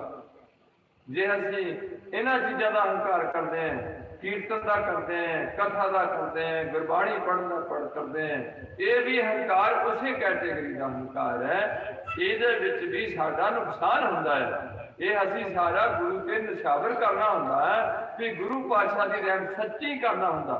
ਕਈ ਬੰਦੇ ਨਾ ਐਸੇ ਤਕੀਆ ਕਲਾਮ ਬਣਾ ਲੈਂਦੇ ਨੇ, ਨਹੀਂ, ਮੈਂ ਕੁਝ ਨਹੀਂ ਜੀ ਹੈ, ਮੈਂ ਕੁਝ ਨਹੀਂ ਹੈ। ਤੇ ਜੇ ਉਹਨੂੰ ਮਾੜਾ ਮੋਟਾ ਫਿਰ ਥੋੜਾ ਜਿਹਾ ਠਕੋਰ ਕੇ ਦੇਖੀਏ, ਫਿਰ ਆਕੜ ਦਾ ਵੀ ਬੜਾ ਹੋ ਤਕੀਆ ਕਲਾਮ ਇਹ ਬਣਾ ਲੈਂਦਾ, ਨਹੀਂ ਸਾਈ ਤੁਹਾਡੇ ਚਾਲਾਂ ਦੀ ਧੂੜ ਹੈ ਜੀ ਹੈ ਤਾਂ ਤੁਹਾਡੇ ਚਾਲਾਂ ਦੀ ਧੂੜ ਹੈ। ਤੇ ਜੇ ਉਹਨੂੰ ਕਹੀਏ ਵੀ ਚੰਗਾ, ਫਿਰ ਥੱਲਾ ਲੇਟ ਜਰਾ ਤੇਰੇ ਤੇ ਚੰਨ ਰੱਖੀਏ ਤੇ ਫਿਰ ਵੀ ਆਕੜ ਦਿਓ ਬਸ ਐਸੇ ਕਹਿਣਾ ਕੁਝ ਹੁੰਦਾ ਤੇ ਕਰਨਾ ਕੁਝ ਹੁੰਦਾ। ਉਹ ਕਹਿੰਦੇ ਨੇ, ਮਨ ਦਾ ਹੰਕਾਰ ਛੱਡ ਦੇ, ਪ੍ਰਮਾਤਮਾ ਦੀ ਭਗਤੀ ਆਪਣੇ ਹਿਰਦੇ ਵਿੱਚ ਵਸਾ ਲੈ। ਦਾਸ ਨਾਨਕ, ਤੈਨੂੰ ਮੁੜ ਮੁੜ ਇਹੀ ਗੱਲ ਹਿਤਾਦਾ ਹੈ ਕਿ ਇਹੋ ਜਿਹਾ ਸੱਚਾ ਜੀਵਨ ਜੀ, ਪ੍ਰਭੂ ਭਗਤੀ ਦਾ ਜੀਵਨ ਜੀ। ਭਗਤ ਬਿਨਾ ਬਹੁਤ ਡੂਬੇ ਸਿਆਣੇ। ਬੜੇ ਬੜੇ ਜਿਹੜੇ ਸਿਆਣੇ ਬਣ ਕੇ ਬੈਠੇ ਆ ਸਾਇੰਸਦਾਨ ਬਣ ਕੇ ਬੈਠੇ ਆ, ਗੁਰੂ ਪਾਤਸ਼ਾਹ ਦੀ ਕਸਬੱਟੀ ਤੇ ਸਾਰੇ ਡੁੱਬੇ ਹੋਏ ਨੇ ਸਰਮਾਏਦਾਰ ਬੈਠਾ ਹੈ ਕੇਵਲ ਜੇ ਹੈ ਤੇ ਉਸ ਬੰਦੇ ਨੂੰ ਗੁਰੂ ਪਾਤਸ਼ਾਹ ਉਹਦੇ ਦਾਸਨ ਦਾਸ ਬਣ ਜਾਂਦੇ ਨੇ। ਗੁਰੂ ਪਾਤਸ਼ਾਹ ਕਹਿੰਦੇ ਨੇ, ਬੁਲਹਾਰੇ ਜਾਓ ਜੇ ਤੇ ਤੇਰੇ ਨਾਮ ਹੈ। ਸਿਰ ਨਾਨਕ ਲੋਕਾਂ ਪਰ ਲੋਕਾਂ ਦੇ ਪੈਰ ਤੇ ਮੇਰਾ ਸਿਰ। ਜਿਹੜੇ ਨਾਮ ਜਪਣ ਵਾਲੇ ਬੰਦੇ ਨੇ, ਉਹਨਾਂ ਦੇ ਧੂੜੀ ਵਿੱਚ ਲੁੜਦਗੀ ਸੁਹਾ ਨਾਨਕ ਫੈਸਲੇ ਨਾਲੇ ਉਹਨਾਂ ਦੀ ਧੂੜ ਵਿੱਚ ਮੈਂ ਲੇਟਾਂ ਤਾਂ ਮੇਰਾ ਸਰੀਰ ਪਵਿੱਤਰ ਹੋ ਜਾਏ। ਐਸੀ ਸੀ ਵਿਚਾਰ। ਹੁਣ ਮੈਂ 2-4 ਮਿੰਟ ਵਿੱਚ ਜੋ ਆਪ ਜੀ ਨਾਲ ਅਸੀਂ ਸਾਂਝ ਪਾਣੇ ਹਾਂ ਕਿ ਸਾਨੂੰ ਕੀ ਕਰਨਾ ਚਾਹੀਦਾ। ਕਿ ਢਿੱਲੇ ਮੱਠੇ ਨਾ ਰਹੋ। ਇੱਥੇ ਇੱਕ ਹਿੰਦੂ ਹੈ, ਇੱਕ ਮੁਸਲਮਾਨ ਹੈ, ਇੱਕ ਈਸਾਈ ਹੈ, ਇੱਕ ਸਿੱਖ ਹੈ। ਗੁਰਦੁਆਰੇ ਨੇ, ਗਿਰਜੇ ਨੇ, ਮੰਦਰ ਨੇ, ਮਸਜਿਦ ਨੇ। ਜਿਹੜੇ ਧਰਮ ਵਿੱਚ ਜਿਹਨੂੰ ਜਨਮ ਮਿਲਦੇ, ਉਹਦੇ ਵਾਸਤੇ ਉਹ ਧਰਮ ਮੁਬਾਰਕ ਹੈ। ਉਸ ਧਰਮ ਅਨੁਸਾਰ ਉਹ ਆਪਣੇ ਬੱਚਿਆਂ ਦੇ ਨਾਂ ਰੱਖਦਾ। ਉਸ ਧਰਮ ਅਨੁਸਾਰ ਉਹ ਆਪਣੇ ਆਨੰਦ ਕਾਰਜ ਜਾਂ ਵਿਆਹ ਨਿਕਾਹ ਕਰਦਾ। ਉਸ ਧਰਮ ਅਨੁਸਾਰ ਉਹ ਬੰਦੇ ਨੂੰ ਮਰੇ ਨੂੰ ਸੰਸਕਾਰ ਕਰਦਾ। ਉਹ ਤੋਂ ਬਾਅਦ ਪਾਠ ਪੜਦਾ ਜਾਂ ਅਰਦਾਸ ਕਰਨੀ ਹੈ ਜਾਂ ਉਹਨੂੰ ਦੱਬਣਾ ਆ ਇਹ ਆਪੋ ਆਪਣੇ ਧਰਮਾਂ ਦੇ ਕਾਇਦੇ ਕਾਨੂੰਨ ਬਣਾਏ ਹੁੰਦੇ ਨੇ। ਇਹ ਪੈਗੰਬਰ ਦਰਗਾਹ ਤੋਂ ਆਉਂਦੇ ਨੇ, ਜੋ ਉਹਨਾਂ ਨੂੰ ਅੱਲਾਹ ਤਾਲਾ ਜਾਂ ਸੰਦੇਸ਼ ਦਿੰਦਾ, ਉਹ ਲੋਕਾਂ ਨੂੰ ਆ ਕੇ ਦੱਸਦੇ ਨੇ। ਉਸੇ ਲੜੀ ਵਿੱਚ ਗੁਰੂ ਨਾਨਕ ਪਾਤਸ਼ਾਹ ਇਸ ਪਾਵਨ ਪੰਜਾਬ ਦੀ ਧਰਤੀ ਤੇ ਕਲਯੁਗ ਦੇ ਸਮੇਂ ਵਿੱਚ ਧੁਰੰਧਰ ਅਵਤਾਰ ਬਣ ਕੇ ਆਏ। ਉਹਨਾਂ ਦੇ ਚਲਾਏ ਹੋਏ ਪੰਥ ਵਿੱਚ ਸਾਨੂੰ ਸਾਰਿਆਂ ਨੂੰ ਜਨਮ ਪ੍ਰਾਪਤ ਹੋਇਆ। ਪੰਜਾਬ ਦੀ ਸਰਜ਼ਮੀਨ ਤੇ। ਹੁਣ ਸਾਡੇ ਨਾਮ ਅਗਰ ਸਿੰਘ ਤੇ ਗੌਰ ਲੱਗੇ ਨੇ? ਇਹ ਸਿੰਘ ਤੇ ਕੌਰ ਸਾਡੇ ਨਾਮ ਨਗਰ 1699 ਤੋਂ ਲਾਗੂ ਹੋਏ ਨੇ। ਪਹਿਲਾਂ ਸਾਡੇ ਨਾਮ ਅਗਰ ਸਿੰਘ ਤੇ ਕੌਰ ਨਹੀਂ ਸਨ ਲੱਗਦੇ। 1699 ਨੂੰ ਸਾਨੂੰ ਇੱਕ ਖਾਲਸਾ ਪੰਥ ਦਾ ਅੰਗ ਬਣਨਾ ਪਿਆ। ਅੱਜ ਉਸ ਪੰਥ ਦੇ ਅਧੀਨ ਅਸੀਂ ਤਿੰਨ ਕੰਮ ਕਰਦੇ ਆਂ ਆਪਣੇ ਨਾਮ ਅਗਰ ਸਿੰਘ ਵੀ ਲਾਣੇ ਆ ਕੌਰ ਵੀ ਕੁੜੀਆਂ ਦੇ ਨਾਮ ਅਗਰ ਲਾਣੇ ਆ ਪਰ ਜਾਤ ਪਾਤ ਤੋਂ ਉੱਪਰ ਨਹੀਂ ਉੱਠਦੇ। ਦੂਜਾ ਅਸੀਂ ਕਰਦੇ ਬੱਚਿਆਂ ਦੇ ਆਨੰਦ ਕਾਰਜ। ਕੋਈ ਵੀ ਹਿੰਦੂ ਇਸ ਤਰੀਕੇ ਨਾਲ ਆਪਣੇ ਘਰੇ ਗੁਰੂ ਗ੍ਰੰਥ ਸਾਹਿਬ ਨੂੰ ਲਿਜਾ ਕੇ ਪਾਠ ਨਹੀਂ ਕਰੂਗਾ। ਇਹ ਮੁਸਲਮਾਨਾਂ ਦੇ ਘਰੇ ਗੁਰੂ ਗ੍ਰੰਥ ਸਾਹਿਬ ਜੀ ਨਹੀਂ, ਕੋਈ ਲੈ ਕੇ ਆ ਜਾਊਗਾ। ਕੋਈ ਈਸਾਈ ਗੁਰੂ ਗ੍ਰੰਥ ਸਾਹਿਬ ਜੀ ਨੂੰ ਆਪਣੇ ਘਰ ਲਿਜਾਣ ਨੂੰ ਤਿਆਰ ਨਹੀਂ ਹੋਊਗਾ। ਇਹ ਜੇ ਜਾਣਗੇ ਤੇ ਸਿੱਖਾਂ ਦੇ ਘਰੇ ਜਾਣਗੇ। ਹੁਣ ਸਿੱਖ ਕੌਣ ਹੁੰਦਾ? ਅੱਜ ਤੁਹਾਡੇ ਨਾਲ ਅਸੀਂ ਇਹੋ ਸਾਂਝ ਪਾਲੇ ਐ ਕਿ ਸਿੱਖਾਂ ਦੇ ਘਰੇ ਜੰਮ ਕੇ ਬੰਦਾ ਸਿੱਖ ਨਹੀਂ ਹੁੰਦਾ। ਉਹ ਸਿੱਖਾਂ ਦਾ ਬੱਚਾ ਹੁੰਦਾ। ਤੇ ਜਦੋਂ ਖੁਦ ਸਿੱਖ ਬਣਦਾ ਆ, ਨਸ਼ੇ ਛੱਡ ਕੇ, ਕੇਸ ਰੱਖ ਕੇ, ਪੰਜਾਂ ਪਿਆਰਿਆਂ ਤੋਂ ਪੌਲ ਛੱਕ ਕੇ, ਫਿਰ ਰੋਜ਼ ਗੁਰਦੁਆਰੇ ਜਾਣਾ, ਦਿੱਤੇ ਹੋਏ ਨਿਤਨੇਮ ਦੀ ਪਾਲਣਾ ਕਰਨੀ ਹੈ ਤੇ ਨਾਲ ਨਾਲ ਕਿਸ ਤਰੀਕੇ ਨਾਲ ਪੰਜ ਗੁਰਕਾਰੀ ਰਹਿਤ ਵਿੱਚ ਦ੍ਰਿੜਤਾ ਨਾਲ ਜੀਵਨ ਬਤੀਤ ਕਰਨਾ, ਨਾਲ ਨਾਲ ਚਾਰ ਵਜਨ ਕਰਾਤਾ ਤੋਂ ਬਚਣਾ, ਆਪਣੇ ਗੁਰੂ ਗ੍ਰੰਥ ਸਾਹਿਬ ਜੀ ਤੋਂ ਬਿਨਾ ਹੋਰ ਕਿਸੇ ਧਰਮ ਨੂੰ ਮਾੜਾ ਨਹੀਂ ਕਹਿਣਾ ਤੇ ਨਾ ਹੀ ਕਿਸੇ ਦੀ ਪ੍ਰੌੜਤਾ ਕਰਨੀ ਹੈ। ਫਿਰ ਜਾ ਕੇ ਗੁਰੂ ਦੇ ਬਚਨਾਂ ਦੀ ਪਾਲਣਾ ਕਰਨ ਤੋਂ ਬਾਅਦ ਜਦੋਂ ਸਾਡਾ ਸਰੀਰ ਸ਼ਾਂਤ ਹੋਊਗਾ, ਉਦੋਂ ਸਾਡੀ ਰੂਹ ਜਿਹੜੀ ਹੈ ਗੁਰੂ ਪਾਤਸ਼ਾਹ ਬਖਸ਼ ਦੇਣ ਤੇ ਸਾਨੂੰ ਆਪਣੇ ਗੁਰਪੁਰੀ ਵਿੱਚ ਥਾਂ ਦੇਣਗੇ। ਤੇ ਜੇ ਤੁਸੀਂ ਸ਼ਰਾਬੀਆਂ ਦੀ ਵੀ ਗ੍ਰੰਥੀ ਖੜੇ ਹੋ ਕੇ ਅਰਦਾਸ ਕਰੀ ਗਏ, ਬੇਈਮਾਨੀਆਂ ਦੀ ਵੀ ਖੜੇ ਹੋ ਕੇ ਅਰਦਾਸ ਕਰੀ ਗਏ, ਤੇ ਪਾਠ ਪੜ੍ਹ ਕੇ ਅਰਦਾਸ ਕਰਦਾ ਉਹਦੀ ਰੂਹ ਨੂੰ ਕੋਈ ਸਕੂਨ ਜ਼ਰੂਰ ਮਿਲ ਜਾਊਗਾ, ਪਰ ਗੁਰਪੁਰੀ ਵਿੱਚ ਜਾਣ ਜੋਗੀ ਰੂਹ ਨਹੀਂ ਬਣੂਗੀ। ਛੋਟੀ ਜੀ ਕਿ ਸਾਖੀ ਸੰਤ ਅਤਰ ਸਿੰਘ ਜੀ ਦੀ ਮਾਤਾ ਦੀ ਇਤਿਹਾਸ ਵਿੱਚ ਦਿੱਤੀ ਹੈ ਕਿ ਉਹ ਮਾਤਾ ਜੀ ਨੇ ਅੰਮ੍ਰਿਤ ਨਹੀਂ ਛਕਿਆ, ਵੀ ਮੇਰਾ ਮੁੰਡਾ ਬੜਾ ਨਾਮ ਜਪਦਾ ਆ, ਸੰਤ ਜੀ ਹੈ, ਲੋਕ ਬੜੀ ਇੱਜ਼ਤ ਕਰਦੇ ਨੇ ਤੇ ਮੈਨੂੰ ਤਾਂ ਕੋਈ ਲੋੜੇ ਨਹੀਂ, ਮੇਰੇ ਤਾਂ ਸਾਰਾ ਕੁਝ ਠੀਕ ਹੋ ਜਾਣਾ।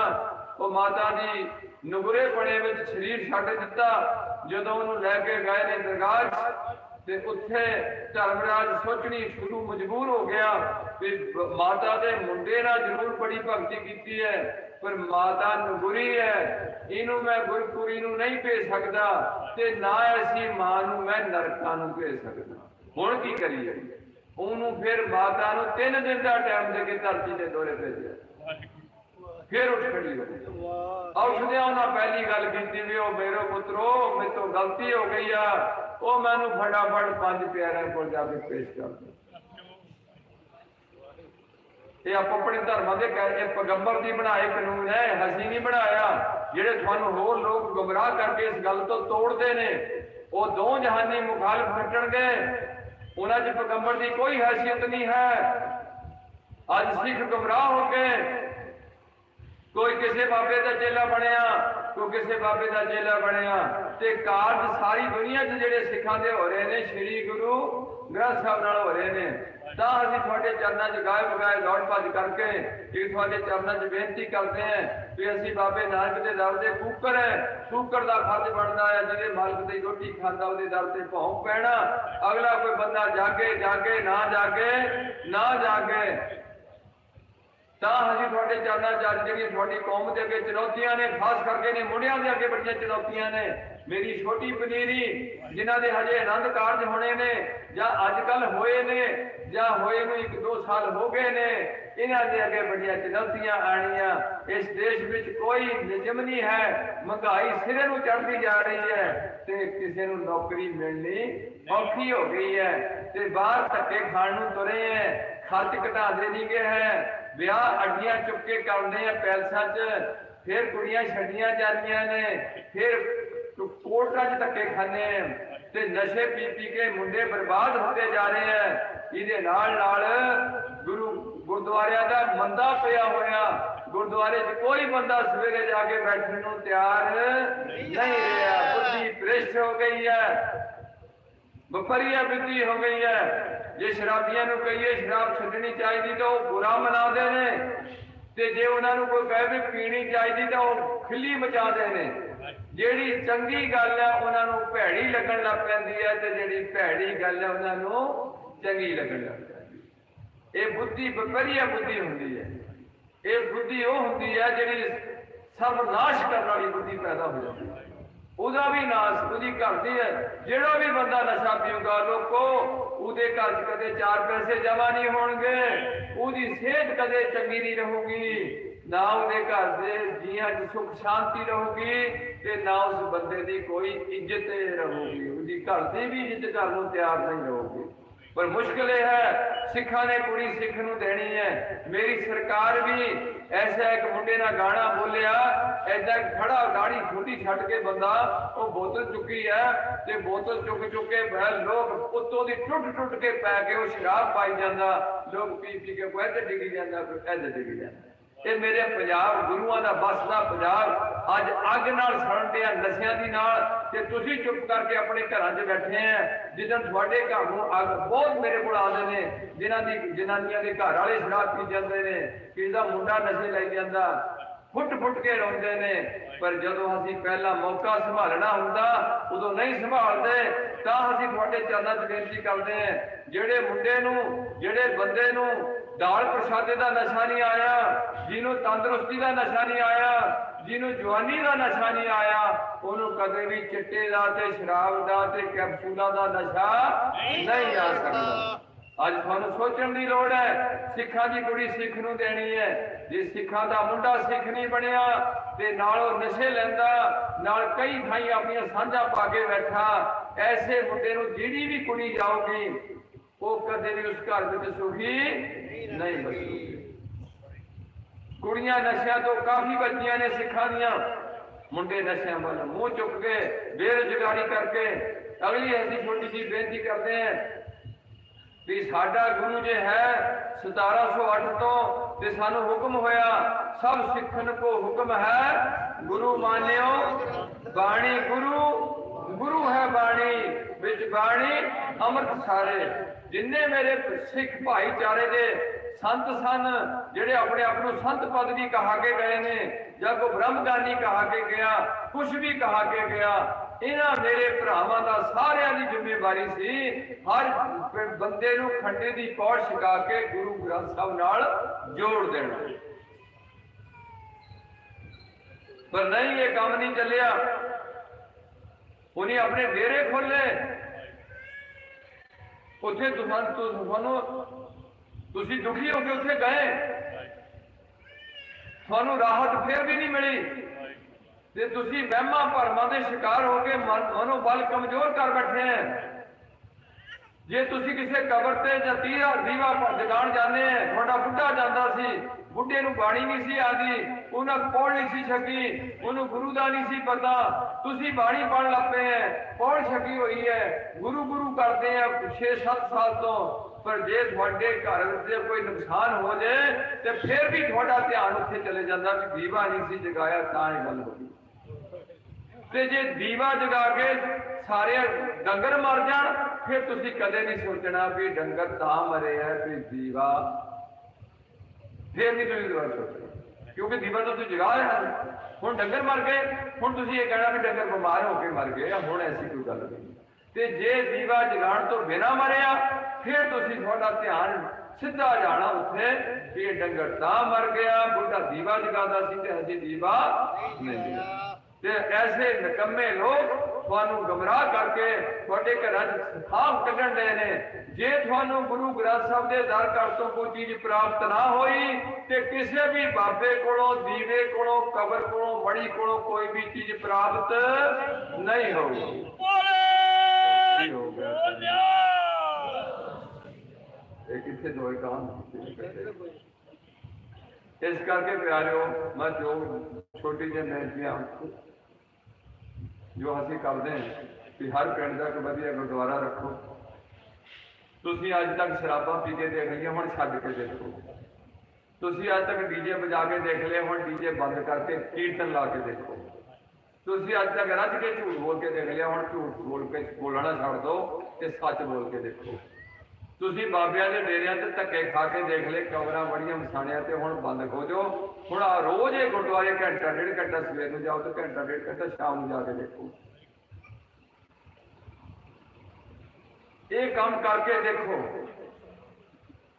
ਜੇ 10 ਸਾਲ ਲਗਾਤਾਰ ਇਹ ਕੰਮ ਕਰਨ ਤੋਂ ਬਾਅਦ ਤੁਹਾਡੇ ਮਨ ਨੂੰ ਸ਼ਾਂਤੀ ਨਾ ਹੋਗੀ ਫਿਰ ਗੱਲ ਕਰਿਓ ਕਿ ਗੁਰੂ ਕੇ ਬਚਨ ਐਵੇਂ ਹੀ ਹੁੰਦੇ ਫਿਰ ਗੱਲ ਕਰਿਓ। ਪਰ ਜੇ ਤੁਹਾਡੇ ਅੰਦਰ ਮੈਂ ਮੇਰੀ ਬਣੀ ਰਹੀ ਫਿਰ ਤੁਹਾਨੂੰ ਨਾ ਇਫੈਕਟ ਨਹੀਂ ਹੋਣਾ ਪੱਥ ਦੇ ਨਾਲ ਦਵਾਈ ਦੇ ਨਾਲ ਪੱਥ ਇਹ ਦੋਏ ਪਰਹੇਜ਼ ਤੇ ਦਵਾਈ ਦੀ ਲੋੜ ਹੈ, ਜੇ ਤੁਸੀਂ ਸ਼ੂਗਰ ਦੀ ਦਵਾਈ ਖਾਈ ਜਾਓ ਤੇ ਚੌਲ ਵੀ ਠੋਕ ਕੇ ਖਾਈ ਜਾਓ ਤੇ ਖੰਡ ਵੀ ਗੂੜੀ ਰੱਖ ਕੇ ਖਾਈ ਜਾਓ, ਤੇ ਦਵਾਈ ਦਾ ਕੋਈ ਵੀ ਅਸਰ ਨਹੀਂ। ਤੁਹਾਨੂੰ ਨਾਲ ਪਰਹੇਜ਼ ਰੱਖਣਾ ਪੈਣਾ, ਨਾਲ ਦਵਾਈ ਲੈਣੀ ਪੈਣੀ। ਇਸ ਕਰਕੇ ਪਿਆਰਿਓ, ਪਿੰਡ ਦਾ ਗੁਰਦੁਆਰਾ ਸਾਹਿਬ ਰੱਖੋ, ਜਿਹੜੀ ਜ਼ਿਆਦਾ ਗਰਾਵਟ ਇਸ ਕੌਮ ਵਿੱਚ ਆਈ ਹੈ ਅਸਾਈਆਂ ਦਾ ਪਾਦਰੀ ਬੜਾ ਸਿਆਣਾ ਆ। ਆ ਜਿਹੜੇ ਮੇਰੇ ਨੌਜਵਾਨ ਮੁੰਡੇ ਕੇਸਾਂ ਤੋਂ ਘਬਰਾਏ ਹੈ ਅੱਜ ਮੇਰੇ ਕੋਈ WhatsApp ਤੇ ਇੱਕ ਮੁਸਲਮਾਨ ਵੀਰ ਦਾ ਕੋਈ ਸੰਦੇਸ਼ ਹੈ, ਉਹ ਘੱਟੋ ਘੱਟ ਸੱਤ ਬਿਮਾਰੀਆਂ ਦੱਸ ਰਿਹਾ ਜਿਹੜੀਆਂ ਬੰਦਿਆਂ ਨੂੰ ਕਦੇ ਨਹੀਂ ਲੱਗ ਸਕਦੀਆਂ, ਜਿਨੀ ਦਾੜੀ ਤੇ ਮੁੱਛਾਂ ਰੱਖੀਆਂ ਹੁੰਦੀਆਂ। ਕੇਵਲ ਜਨਾਨੀ ਨਾਲੋਂ ਦਾੜੀ ਤੇ ਮੁੱਛ ਬੰਦੇ ਨੂੰ ਵਾਧੂ ਲਾਈ ਹੋਈ ਉਹ ਕਹਿੰਦਾ ਜਨਾਨੀ ਵੀ ਘਰ ਵਿੱਚ ਹੀ ਦਾ ਅੱਜ ਨਿਕਲ ਪਈਆਂ ਇਹ ਬਾਹਰ, ਇਹਨਾਂ ਨੂੰ ਬੀਐਸਐਫ ਚ ਨਹੀਂ ਭਰਤੀ ਕਰ ਲਿਆ, ਪੁਲਿਸ ਚ ਕਰ ਲਿਆ, ਵਿਚਾਰੀਆਂ ਬੰਦਿਆਂ ਵਾਂਗੂ ਧੱਕੇ ਖਾਂਦੀਆਂ ਫਿਰਦੀਆਂ, ਬੁਰੀ ਹਾਲ ਬਾਕੀ ਦਿਹਾੜੇ ਆ, ਰੱਜ ਇਹਨਾਂ ਦਾ ਫੇਰ ਵੀ ਨਹੀਂ ਹੋਣਾ। ਇਹ ਕਿਹੜੇ ਦੁੱਧ ਧੋਤੇ ਆ ਕਾਮਨੀ ਕਰੋਧੀ ਚਾਤਰੀ ਬਾਜੀਗਰ ਤੇ ਕਾਮ ਨੇ ਸਾਰੇ ਦੇ ਲੋਕ, ਜਿਨ੍ਹਾਂ ਵਿੱਚ ਇਹਨਾਂ ਨੂੰ ਜਾ ਕੇ ਕੰਮ ਕਰਨਾ ਪੈਣਾ। ਤੇ ਇਹਨੇ ਵੀ ਉਹ ਗਾਣੇ ਸੁਣਨੇ ਤੇ ਉਹਨੇ ਵੀ ਉਹ ਗਾਣੇ ਸੁਣਨੇ। ਤੇ ਪੈਸੇ ਨਹੀਂ ਭਾਈ ਗੁਰਦਾਸ ਜੀ ਕਹਿੰਦੇ ਸੀ, ਇਸਤਰੀ ਪੁਰਖ ਹੈ ਦਾਮ ਹਿਤ, ਭਾਵੇਂ ਆਏ ਕਥਾਉ ਜਾਏ। ਜਨਾਨੀ ਤੇ ਬੰਦੇ ਦਾ ਸੰਬੰਧ ਪੈਸੇ ਨਾਲ ਹੈ, ਜਿੱਥੇ ਮਰਜ਼ੀ ਬੰਦਾ ਜਾਏ, ਪੈਸੇ ਲੈ ਕੇ ਆਏ, ਜਿੱਥੇ ਮਰਜ਼ੀ ਜਨਾਨੀ ਜਾਏ ਤੇ ਪੈਸੇ ਲੈ ਕੇ ਆਏ, ਖੂਜ ਪੈਸੇ ਦਾ ਉਹ ਆਂਦਾ ਪੈਣੀਆਂ ਜਨਾਨੀਆਂ ਸਾਡੀਆਂ ਘਰਾਂ ਤੋਂ ਬਾਹਰ ਨਹੀਂ ਸੀ ਜਾਂਦੀਆਂ। ਉਹ ਘੱਟੇ 'ਚ ਕੰਮ ਨਹੀਂ ਸੀ ਕਰਦੀਆਂ। ਉਹ ਘਰ ਦੀ ਚਾਰ ਦੀਵਾਰੀ ਵਿੱਚ ਰਹਿੰਦੀਆਂ ਹੁੰਦੀਆਂ ਸਨ। ਇਸ ਕਰਕੇ ਜਿਹੜੇ ਬੰਦੇ ਨੇ, ਇਹ ਬਾਹਰ ਪੈੜੀਆਂ 'ਚ ਕੰਮ ਕਰਦੇ ਸੀ, ਘੱਟਾ ਮਿੱਟੀ ਉੱਡਣਾ, ਇਹਨਾਂ ਦੇ ਦਾੜੇ ਨਾਲ ਉਹ ਜਿਹੜੀ ਮਿੱਟੀ ਅੰਦਰ ਲੰਘਣੀ ਹੈ, ਉਹ ਦਾੜੇ ਨਾਲ ਆਪਣੇ 'ਚ ਕਵਰ ਕਰ ਲੈਣੀ ਹੈ, ਉਹ ਮੁੱਛਾਂ 'ਚ ਫਸ ਜਾਣੀ ਹੈ। ਘੱਟੋ ਘੱਟ ਸੱਤ ਬਿਮਾਰੀਆਂ ਉਹਨਾਂ ਦੱਸੀਆਂ। ਜਿਹੜੀਆਂ ਸੀਰੀਅਸ ਤੋਂ ਸੀਰੀਅਸ ਬਿਮਾਰੀਆਂ, ਉਹ ਦਾੜੀ ਮੁੱਛਾਂ ਵਾਲਿਆਂ ਨੂੰ ਨਹੀਂ ਲੱਗਣਗੀਆਂ। ਗੋ ਗੁਰੂ ਸਾਹਿਬ ਨੇ ਜੋ ਵੀ ਫੈਸਲਾ ਕੀਤਾ, ਸਾਡਾ ਜੀ ਕਰਦਾ, ਅਸੀਂ ਉਹਨਾਂ ਦੇ ਅੱਗੇ ਉਹਨਾਂ ਦੀ ਗੱਲ ਅੱਗੇ ਕਦੇ ਵੀ ਸਾਨੂੰ ਕੁਛਕਣਾ ਨਹੀਂ ਚਾਹੀਦਾ। ਜੋ ਗੁਰੂ ਕਹੇ ਸੋਈ ਭਲ ਮਾਨੋ, ਹਰ ਹਰ ਕਥਾ ਨਰਾਲੀ। ਜੋ ਗੁਰੂ ਨਾ ਕਹਿ ਦਿੱਤਾ, ਗੁਰਸਿੱਖ ਮੀਤ ਚੱਲੋ ਗੁਰ ਚਾਲੀ ਉਹ ਗੁਰਸਿੱਖੋ, ਉਹ ਮਿੱਤਰੋ, ਜਿਹੜੀ ਗੁਰੂ ਨੇ ਚਾਲ ਫੜਾਈ, ਉਹ ਚਾਲ ਦੇ ਉੱਤੇ ਚੜ ਜਾਓ। ਜੇ ਭਲਾ ਜਾਣੇ ਆਪਣੇ ਬੱਚਿਆਂ ਦਾ, ਭਲਾ ਜਾਣੇ ਆਪਣੇ ਬਜ਼ੁਰਗਾਂ ਦਾ ਮਰ ਮਰ ਤੋਂ ਬਾਅਦ ਕਿਸੇ ਚੰਗੇ ਥਾਂ ਤੇ ਰਸਾਈ ਜਾਣੇ ਹੈ ਤੇ ਅੱਖਾਂ ਮੀਟ ਕੇ ਗੁਰੂ ਦੇ ਬਚਨਾਂ ਨੂੰ ਪਾਲਣਾ ਸ਼ੁਰੂ ਕਰ ਦਿਓ ਆਪਣੀ ਆਕੜ ਨੂੰ ਛੱਡ ਦਿਓ ਅਕਲ ਨੂੰ। ਵਧੀਆ ਗੁਰਦੁਆਰਾ ਰੱਖੋ, ਗ੍ਰੰਥੀ ਸਿੰਘ ਚੰਗਾ ਰੱਖੋ, ਉਹਦੀ ਇੱਜ਼ਤ ਕਰੋ। ਤੇ ਪਹਿਲਾ ਗ੍ਰੰਥੀ ਬਾਬਾ ਬੁੱਢਾ ਸਾਹਿਬ ਬਣੇ, ਗੁਰਦੁਆਰੇ ਦੇ ਨਾਲ ਲੰਗਰ ਹਾਲ ਬਣਾਓ। ਨਾਲ ਨਾਲ ਉਮਰ ਦੇ ਖਾਸ ਹਿੱਸੇ ਵਿੱਚ ਵਿੱਚੇ ਬੇਟੀਆਂ, ਵਿੱਚੇ ਬੇਟੇ ਖੰਡੇ ਦੀ ਪੌੜ ਛੱਕ ਕੇ ਪ੍ਰਣ ਲਾਓ ਵੀ ਅਸੀਂ ਅੱਜ ਤੋਂ ਬਾਅਦ ਗੁਰੂ ਦੇ ਬਚਨਾਂ ਦੀ ਦ੍ਰਿੜਤਾ ਨਾਲ ਪਾਲਣਾ ਕਰਾਂਗੇ, ਮਾੜੇ ਕੰਮ ਨਹੀਂ ਕਰਾਂਗੇ ਤੇ ਗੁਰੂ ਦੇ ਬਚਨਾਂ ਦੀ ਪਾਲਣਾ ਕਰਾਂਗੇ। ਤੇ ਨਾਲ ਨਾਲ ਲੜਕੀ, ਉਹ ਜਿਹੜਾ ਗ੍ਰੰਥੀ ਸਿੰਘ ਆ, ਉਹਦੀ ਚੰਗੀ ਤਨਖਾਹ, ਅਕਮੋਡੇਸ਼ਨ ਤੇ ਨਾਲ ਨਾਲ ਉਹ ਵੀਰ ਵੀ ਆਪਣੇ ਪਿੰਡ ਦੇ ਬੱਚਿਆਂ ਦੀ ਕਲਾਸ ਲਾਣੀ, ਜਿਹੜੇ ਬੱਚੇ ਨੂੰ ਮਾਪਿਓ ਨੇ ਸਕੂਲ ਪਾਣਾ ਉਹ ਤੋਂ ਪਹਿਲਾਂ ਉਹਨੂੰ ਮੂਲ ਮੰਤਰ ਯਾਦ ਕਰਾਣਾ ਇੱਕ ਓੰਕਾਰ ਉਹਨੂੰ ਉਂਗਲੀ ਨਾਲ ਏਕਾ ਪਵਾ ਕੇ ਉਹਦਾ ਏਦਾਂ ਪਵਾ ਕੇ, ਪਹਿਲਾਂ ਇਹ ਅੱਖਰ ਸਿਖਾਲਣੇ ਫਿਰ ਉਹਨੂੰ ਦੁਨਿਆਵੀ ਪੜ੍ਹਾਈ ਵਿੱਚ ਪੜ੍ਹਨਾ। ਇਹ ਗੱਲਾਂ ਨਾ ਇਹਨੂੰ ਅੱਗੇ ਦ੍ਰਿੜਤਾ ਨਾਲ ਰੱਖੋ। ਅਗਲੀ ਬੇਨਤੀ ਹੈ ਕਿ ਉਸ ਗੁਰਦੁਆਰੇ ਵਿੱਚ ਸਵੇਰੇ ਵੀ ਇਕੱਠੇ ਹੋ, ਸ਼ਾਮ ਨੂੰ ਵੀ ਇਕੱਠੇ ਹੋ, ਲੰਗਰ ਹਾਲ ਜ਼ਰੂਰ ਰੱਖੋ। ਪੰਗਤ ਤੇ ਸੰਗਤ ਦੀ ਸਾਂਝ ਹੈ ਤੇ ਨਾਲ ਨਾਲ ਗੁਰੂ ਪਾਤਸ਼ਾਹ ਰਹਿਮਤ ਕਰ ਕੁੜੀਆਂ ਦੇ ਆਨੰਦ ਕਾਰਜ ਗੁਰਦੁਆਰੇ 'ਚ ਕਰੋ। ਜੇ ਗੁਰਦੁਆਰੇ 'ਚ ਆਨੰਦ ਕਾਰਜ ਕਰੋਗੇ ਤੇ ਤੁਹਾਡੇ ਘੱਟੋ ਘੱਟ ਲੱਖਾਂ ਰੁਪਏ ਬਚ ਜਾਣਗੇ। ਉੱਥੇ ਕਦੇ ਵੀ ਭੰਗੜਾ ਨਹੀਂ ਪਾਊਗਾ, ਉੱਥੇ ਡੀਜਾ ਨਹੀਂ ਬਚੂਗਾ ਉੱਥੇ ਕੋਈ ਵੀ ਬੰਦਾ ਸ਼ਰਾਬ ਪੀ ਕੇ ਗੁਰਦੁਆਰੇ ਵਿੱਚ ਆਨੰਦ ਕਾਰਜਾਂ ਵਿੱਚ ਸ਼ਮੂਲੀਅਤ ਨਹੀਂ ਕਰੂਗਾ। ਲੰਗਰ ਹਾਲ ਵਿੱਚੋਂ ਲੰਗਰ ਛਕਾਵਾਂਗੇ। ਉੱਥੇ ਬੱਕਰੇ ਨਹੀਂ ਕਤਲ ਹੋਣਗੇ। ਕਰਨਾ ਪੁੰਨ ਦਾ ਕੰਮ ਧਨ ਕਰ, ਕੰਨਿਆ ਦਾਨ ਕਰਨ ਲੱਗੇ ਐ ਤੇ ਜਾਨਵਰ ਘੱਟੋ ਘੱਟ ਸੈਂਕੜੇ ਮਾਰ ਲੱਗੇ ਐ। ਅਗਲੀ ਬੇਨਤੀ ਹੈ ਗੁਰਦੁਆਰੇ ਦੀ ਗੋਲਕ ਵਿੱਚ ਪੈਸਾ ਇਕੱਠਾ ਕਰੋ। ਆਪਣੇ ਢੇਸੀਆਂ ਵਿੱਚ ਜਾਂ ਮਲਕਣਾ ਵਿੱਚ ਉਹ ਪੈਸੇ ਨੂੰ ਆਪਣੇ ਪਿੰਡ ਦੇ ਲੋੜ ਬੰਦਿਆਂ ਦੀ ਮਦਦ ਵਾਸਤੇ ਲਾਓ, ਗੁਰੂ ਕੀ ਗੋਲਕ ਗਰੀਬ ਦਾ ਮੂੰਹ ਬਣਾਓ। ਜਦੋਂ ਤੁਸੀਂ ਜਿਹੜਾ ਪੈਸਾ ਆਪਣੇ ਕੱਪੜਿਆਂ ਤੇ ਲਾਣੇ ਹੋ, ਸੋਹਣੇ ਬਣਾਣੇ ਹੋ, ਗੱਡੀ ਚੰਗੀ ਲੈਣੇ ਹੋ, ਮੈਨੂੰ ਕੋਈ ਇਤਰਾਜ਼ ਨਹੀਂ ਲਾਓ, ਕੋਠੀ ਤੇ ਲਾਣੇ ਹੋ, ਇਹ ਪੈਸਾ ਤੁਹਾਨੂੰ ਹੰਕਾਰੀ ਬਣਾ ਦਿੰਦਾ। ਤੁਹਾਡੇ ਬੱਚਿਆਂ ਦਾ ਲਿਵਿੰਗ ਸਟੈਂਡਰਡ ਝੁਕ ਜਾਂਦਾ। ਤੇ ਜਦੋਂ ਉਹ ਪੈਸਾ ਤੁਸੀਂ ਕਿਸੇ ਲੋੜਵੰਦੇ ਦੀ ਮਦਦ ਤੇ ਲਾਓਗੇ, ਤੇ ਤੁਹਾਡੇ ਮਨ ਨੂੰ ਠੰਡ ਪਊਗੀ, ਸ਼ਾਂਤੀ ਆਊਗੀ ਵੀ ਮੇਰੇ ਤੋਂ ਕੋਈ ਚੰਗਾ ਕੰਮ ਹੋ ਗਿਆ। ਕਬੀਰ ਮਾਇਆ ਦੋਏ ਭਾਂਤ ਕੀ ਦੋਏ ਚਲਾਏ ਰਾਹ ਇੱਕ ਮਲਾਏ ਰਾਮ ਕੋ, ਇੱਕ ਨਰਕ ਲਗਾ ਜਿਹੜੀ ਸ਼ਰਾਬ ਤੇ ਪੈਸਾ ਲੱਗਿਆ, ਹੰਕਾਰ ਨੂੰ ਪੱਠੇ ਪਾੜ ਤੇ ਪੈਸਾ ਲੱਗ ਗਿਆ ਉਹ ਨਰਕਾਂ ਵੱਲ ਲੈ ਕੇ ਜਾ ਰਿਹਾ। ਜਿਹੜਾ ਸੇਵਾ ਤੇ ਲੱਗ ਗਿਆ ਉਹ ਰਾਮ ਵਾਲੇ ਪਾਸੇ ਲੈ ਕੇ ਜਾ ਰਹੀ ਹੈ। ਇਹ ਗੱਲ ਦਾ ਧਿਆਨ ਰੱਖੋ। ਬਜ਼ੁਰਗਾਂ ਦੇ ਸਿੱਖ ਰਹਿਤ ਮਰਿਆਦਾ ਹਰ ਬੱਚੇ ਨੂੰ ਤੇ ਬੱਚੀ ਨੂੰ ਉਮਰ ਦੇ ਖਾਸ ਹਿੱਸੇ 'ਚ ਪਹੁੰਚ ਜਿੱਥੇ ਛਕਣੀ ਜ਼ਰੂਰੀ ਹੈ ਉੱਥੇ ਰਹਿਤ ਮਰਿਆਦਾ ਤੋਂ ਜਾਣੂ ਹੋਣਾ ਜ਼ਰੂਰੀ ਹੈ। ਅਸੀਂ ਹਜੇ ਕੇਵਲ ਅਕਾਲ ਤਖਤ ਤੋਂ ਛਪੀ ਹੋਈ ਰਹਿਤ ਮਰਿਆਦਾ ਜਿਹੜੀ ਅਹ, 1945 ਤੋਂ ਪ੍ਰਿੰਟ ਹੋ ਕੇ ਅਹ, ਅਕਾਲ ਤਖਤ ਵੱਲੋਂ ਲਾਗੂ ਕੀਤੀ ਗਈ ਹੈ ਉਹਦੇ 'ਚ ਅਸੀਂ ਉਹਦੀ ਪ੍ਰੌੜਤਾ ਕਰਦੇ ਹਾਂ। ਉਹ ਸਾਰਿਆਂ ਦੇ ਘਰਾਂ 'ਚ ਕਾਪੀ ਦਿਮਾਗ ਵਿੱਚ ਉਹਦਾ ਸਾਰਾ ਹਿੱਸਾ ਤੇ ਹਰ ਲੜਕੀ ਤੇ ਲੜਕੇ ਨੂੰ ਸਿੱਖ ਧਰਮ ਦੀ ਪੂਰੀ ਸੋਝੀ ਗਿਆਨ ਹੋਣਾ ਚਾਹੀਦਾ ਤੇ ਨਾਲ ਨਾਲ ਦ੍ਰਿੜਤਾ ਨਾਲ ਆਪਣੀ ਕੌਮ ਵਿੱਚ ਰਲ ਕੇ ਇਸ ਕੌਮ ਦੇ ਭਲੇ ਵਾਸਤੇ ਯਤਨ ਕਰਨਾ ਚਾਹੀਦਾ। ਕੇਵਲ ਫ਼ਰਕ ਇਹ ਨਹੀਂ ਹੈ, ਜੇ ਤੁਸੀਂ ਜਿਹੜਾ ਵੀ ਆਪਾਂ ਸੜਕ ਬਣਾਈ ਹੈ, ਜਿਹੜਾ ਬੰਦਾ ਸੜਕ ਤੇ ਗਲਤ ਤੁਰਦਾ, ਉਹ ਬੰਦੇ ਨੂੰ ਅਸੀਂ ਸਜਾ ਦਿੰਦੇ ਹਾਂ, ਤਾਂ ਕਿ ਅੱਗੇ ਤੋਂ ਬੰਦਾ ਗਲਤ ਨਾ ਤੁਰੇ। ਜਿਹੜਾ ਬੱਚਾ ਸਕੂਲ 'ਚ ਲੇਟ ਆਉਂਦਾ, ਉਹ ਬੱਚੇ ਨੂੰ ਅਸੀਂ ਕੰਨ ਫੜਾਉਂਦੇ ਆ ਤਾਂ ਅੱਗੇ ਅੱਗੇ ਤੋਂ ਬੱਚੇ ਲੇਟ ਨਾ ਆਉਣ। ਜਿਹੜੇ ਬੰਦੇ ਨੇ ਸਿੱਖਾਂ ਦੇ ਘਰ ਜਾ ਕੇ ਸਿੱਖੀ ਦੀ ਰਹਿਤ ਮਰਿਆਦਾ ਦੀ ਲੰਘਣਾ ਕਰਨੀ ਹੈ, ਭਾਵ ਸਿੱਖ ਨਹੀਂ ਬਣਨਾ, ਉਹਨੂੰ ਵੀ ਅਸੀਂ ਇੱਕ ਸਜ਼ਾ ਦੇਣੀ ਸੀ। ਮੁਸਲਮਾਨ ਵੀ ਦਿੰਦੇ ਨੇ ਈਸਾਈ ਵੀ ਦਿੰਦੇ ਨੇ, ਤੁਸੀਂ ਵੀ ਦੇਣੀ ਸੀ। ਉਹ ਸਜ਼ਾ ਇਹ ਸੀ ਮੈਂ ਤਾਂ ਇਹ ਵੀ ਬੇਨਤੀ ਕਰਦਾ ਵੀ ਜਦੋਂ ਸਾਡੇ ਘਰੇ ਗੁਰੂ ਗ੍ਰੰਥ ਸਾਹਿਬ ਜਾਂਦੇ ਨੇ, ਉਹ ਤੋਂ ਬਾਅਦ ਉਸੇ ਘਰ ਵਿੱਚ ਉਸੇ ਦਿਨ ਸ਼ਰਾਬ ਚੱਲ ਪਏ, ਜਾਂ ਕਿਸੇ ਵੀ ਮੁੜ ਕੇ ਜ਼ਿੰਦਗੀ ਪਰ ਉਸ ਘਰ ਵਿੱਚ ਕਦੇ ਵੀ ਸ਼ਰਾਬ ਜਾਂ ਮਾਸ ਨਾ ਵਰਤਿਆ ਜਾਏ, ਉਸ ਘਰ ਵਿੱਚ ਕਦੇ ਵੀ ਨਿਤਨੇਮ ਤੋਂ ਬਿਨਾਂ ਪ੍ਰਸ਼ਾਦਾ ਨਾ ਛਕਿਆ ਜਾਏ, ਉੱਥੇ ਮੇਰੇ ਗੁਰੂ ਪਾਤਸ਼ਾਹ ਜਾ ਕੇ ਬੈਠ ਚੁੱਕੇ ਨੇ ਜਿੱਥੇ ਜਾਏ ਵਹਿ ਮੇਰਾ ਸਤਿਗੁਰੂ, ਸੋ ਥਾਨ ਸੁਹਾਗਾ। RAM ਰਾਜੇ, ਪਰ ਮੁਸ਼ਕਿਲ ਇਹ ਹੈ, ਸਦੋਂ ਸਾਡੇ ਗ੍ਰੰਥੀ ਵਿਚਾਰੇ ਰੋਟੀ ਰੋਜੀ ਦੀ ਖਾਤਰ ਜਿਹੜਾ ਵੀ ਕਹਿੰਦਾ ਮੇਰੇ ਘਰੇ ਪਾਠ ਪੜਨਾ ਜ਼ਰੂਰ ਜਾਓ, ਮੈਂ ਨਹੀਂ ਕਹਿੰਦਾ ਨਾ ਜਾਓ, ਪਰ ਉਹ ਵੀ ਬੰਦੇ ਕੁਝ ਗੱਲ ਨੂੰ ਸੋਚਣ ਵੀ ਜੇ ਸਾਡੇ ਘਰੇ ਗੁਰੂ ਪਾਤਸ਼ਾਹ ਆਏ ਨੇ, ਤੇ ਅਸੀਂ ਵੀ ਅੱਜ ਤੋਂ ਬਾਅਦ ਸਿੱਖੀ ਦੇ ਦਾਇਰੇ ਵਿੱਚ ਬੰਦ ਹੋਈਏ, ਗੁਰੂ ਦੇ ਬਚਨਾਂ ਦੀ ਪਾਲਣਾ ਕਰੀਏ।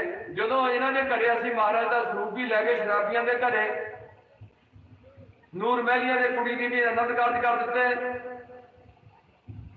ਨਿਰੰਕਾਰੀਆਂ ਦੀ ਕੁੜੀ ਦੇ ਵੀ ਆਨੰਦ ਕਾਰਜ ਕਰ ਦਿੱਤੇ।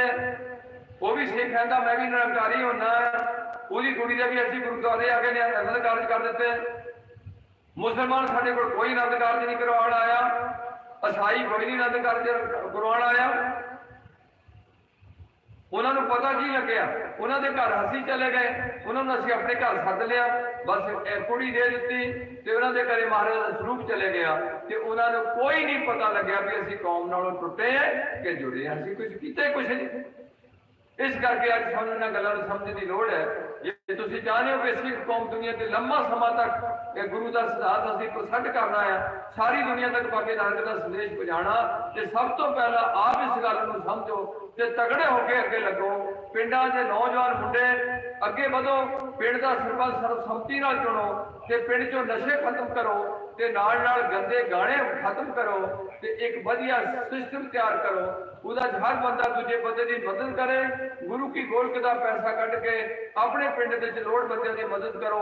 ਪਤਾ ਨਹੀਂ ਅੱਜ ਤੁਸੀਂ ਅਮੀਰ ਹੈ ਕੱਲ ਤੁਸੀਂ ਗਰੀਬ ਹੋ ਜਾਓ। ਅੱਜ ਤੁਸੀਂ ਗਰੀਬ ਹੈ ਕੱਲ ਅਮੀਰ ਹੋ ਜਾਓ। ਅੱਜ ਤੁਸੀਂ ਤੰਦਰੁਸਤ ਹੋ ਕੱਲ ਨੂੰ ਸਾਨੂੰ ਕੈਂਸਰ ਹੋ ਜਾਏ। ਕੋਈ ਪਤਾ ਨਹੀਂ ਘੜੀ ਵਿੱਚੋਂ ਕੀ ਨਿਕਲਣਾ ਹੈ ਸਰੀਰ ਤੋਂ। ਇਹਦਾ ਕੋਈ ਮਾਣ ਨਾ ਕਰੀਏ। ਤੇ ਸਿੱਖ ਸਾਰੇ ਬਣ ਸ੍ਰੀ ਗੁਰੂ ਗ੍ਰੰਥ ਸਾਹਿਬ ਦੇ ਸਿੱਖ ਤੇ ਹਿੰਦੂ ਸਾਰੇ ਬਣ ਜਨੂ ਪਾ ਕੇ ਹਿੰਦੂ ਤੇ ਮੁਸਲਮਾਨ ਸਾਰੇ ਬਣ ਸੁਰਤ ਕਰਾ ਕੇ ਮੁਸਲਮਾਨ ਅਸਾਈ ਬਾਣੀ ਤੇ ਗੋਤਾ ਲੈਣ, ਆਪੋ ਆਪਣੇ ਧਰਮਾਂ 'ਚ ਵੱਧਦੇ ਹੋਏ ਭਾਰਤ ਦੀ ਤਰੱਕੀ ਵਾਸਤੇ ਯੋਗਦਾਨ ਪਾਈਏ।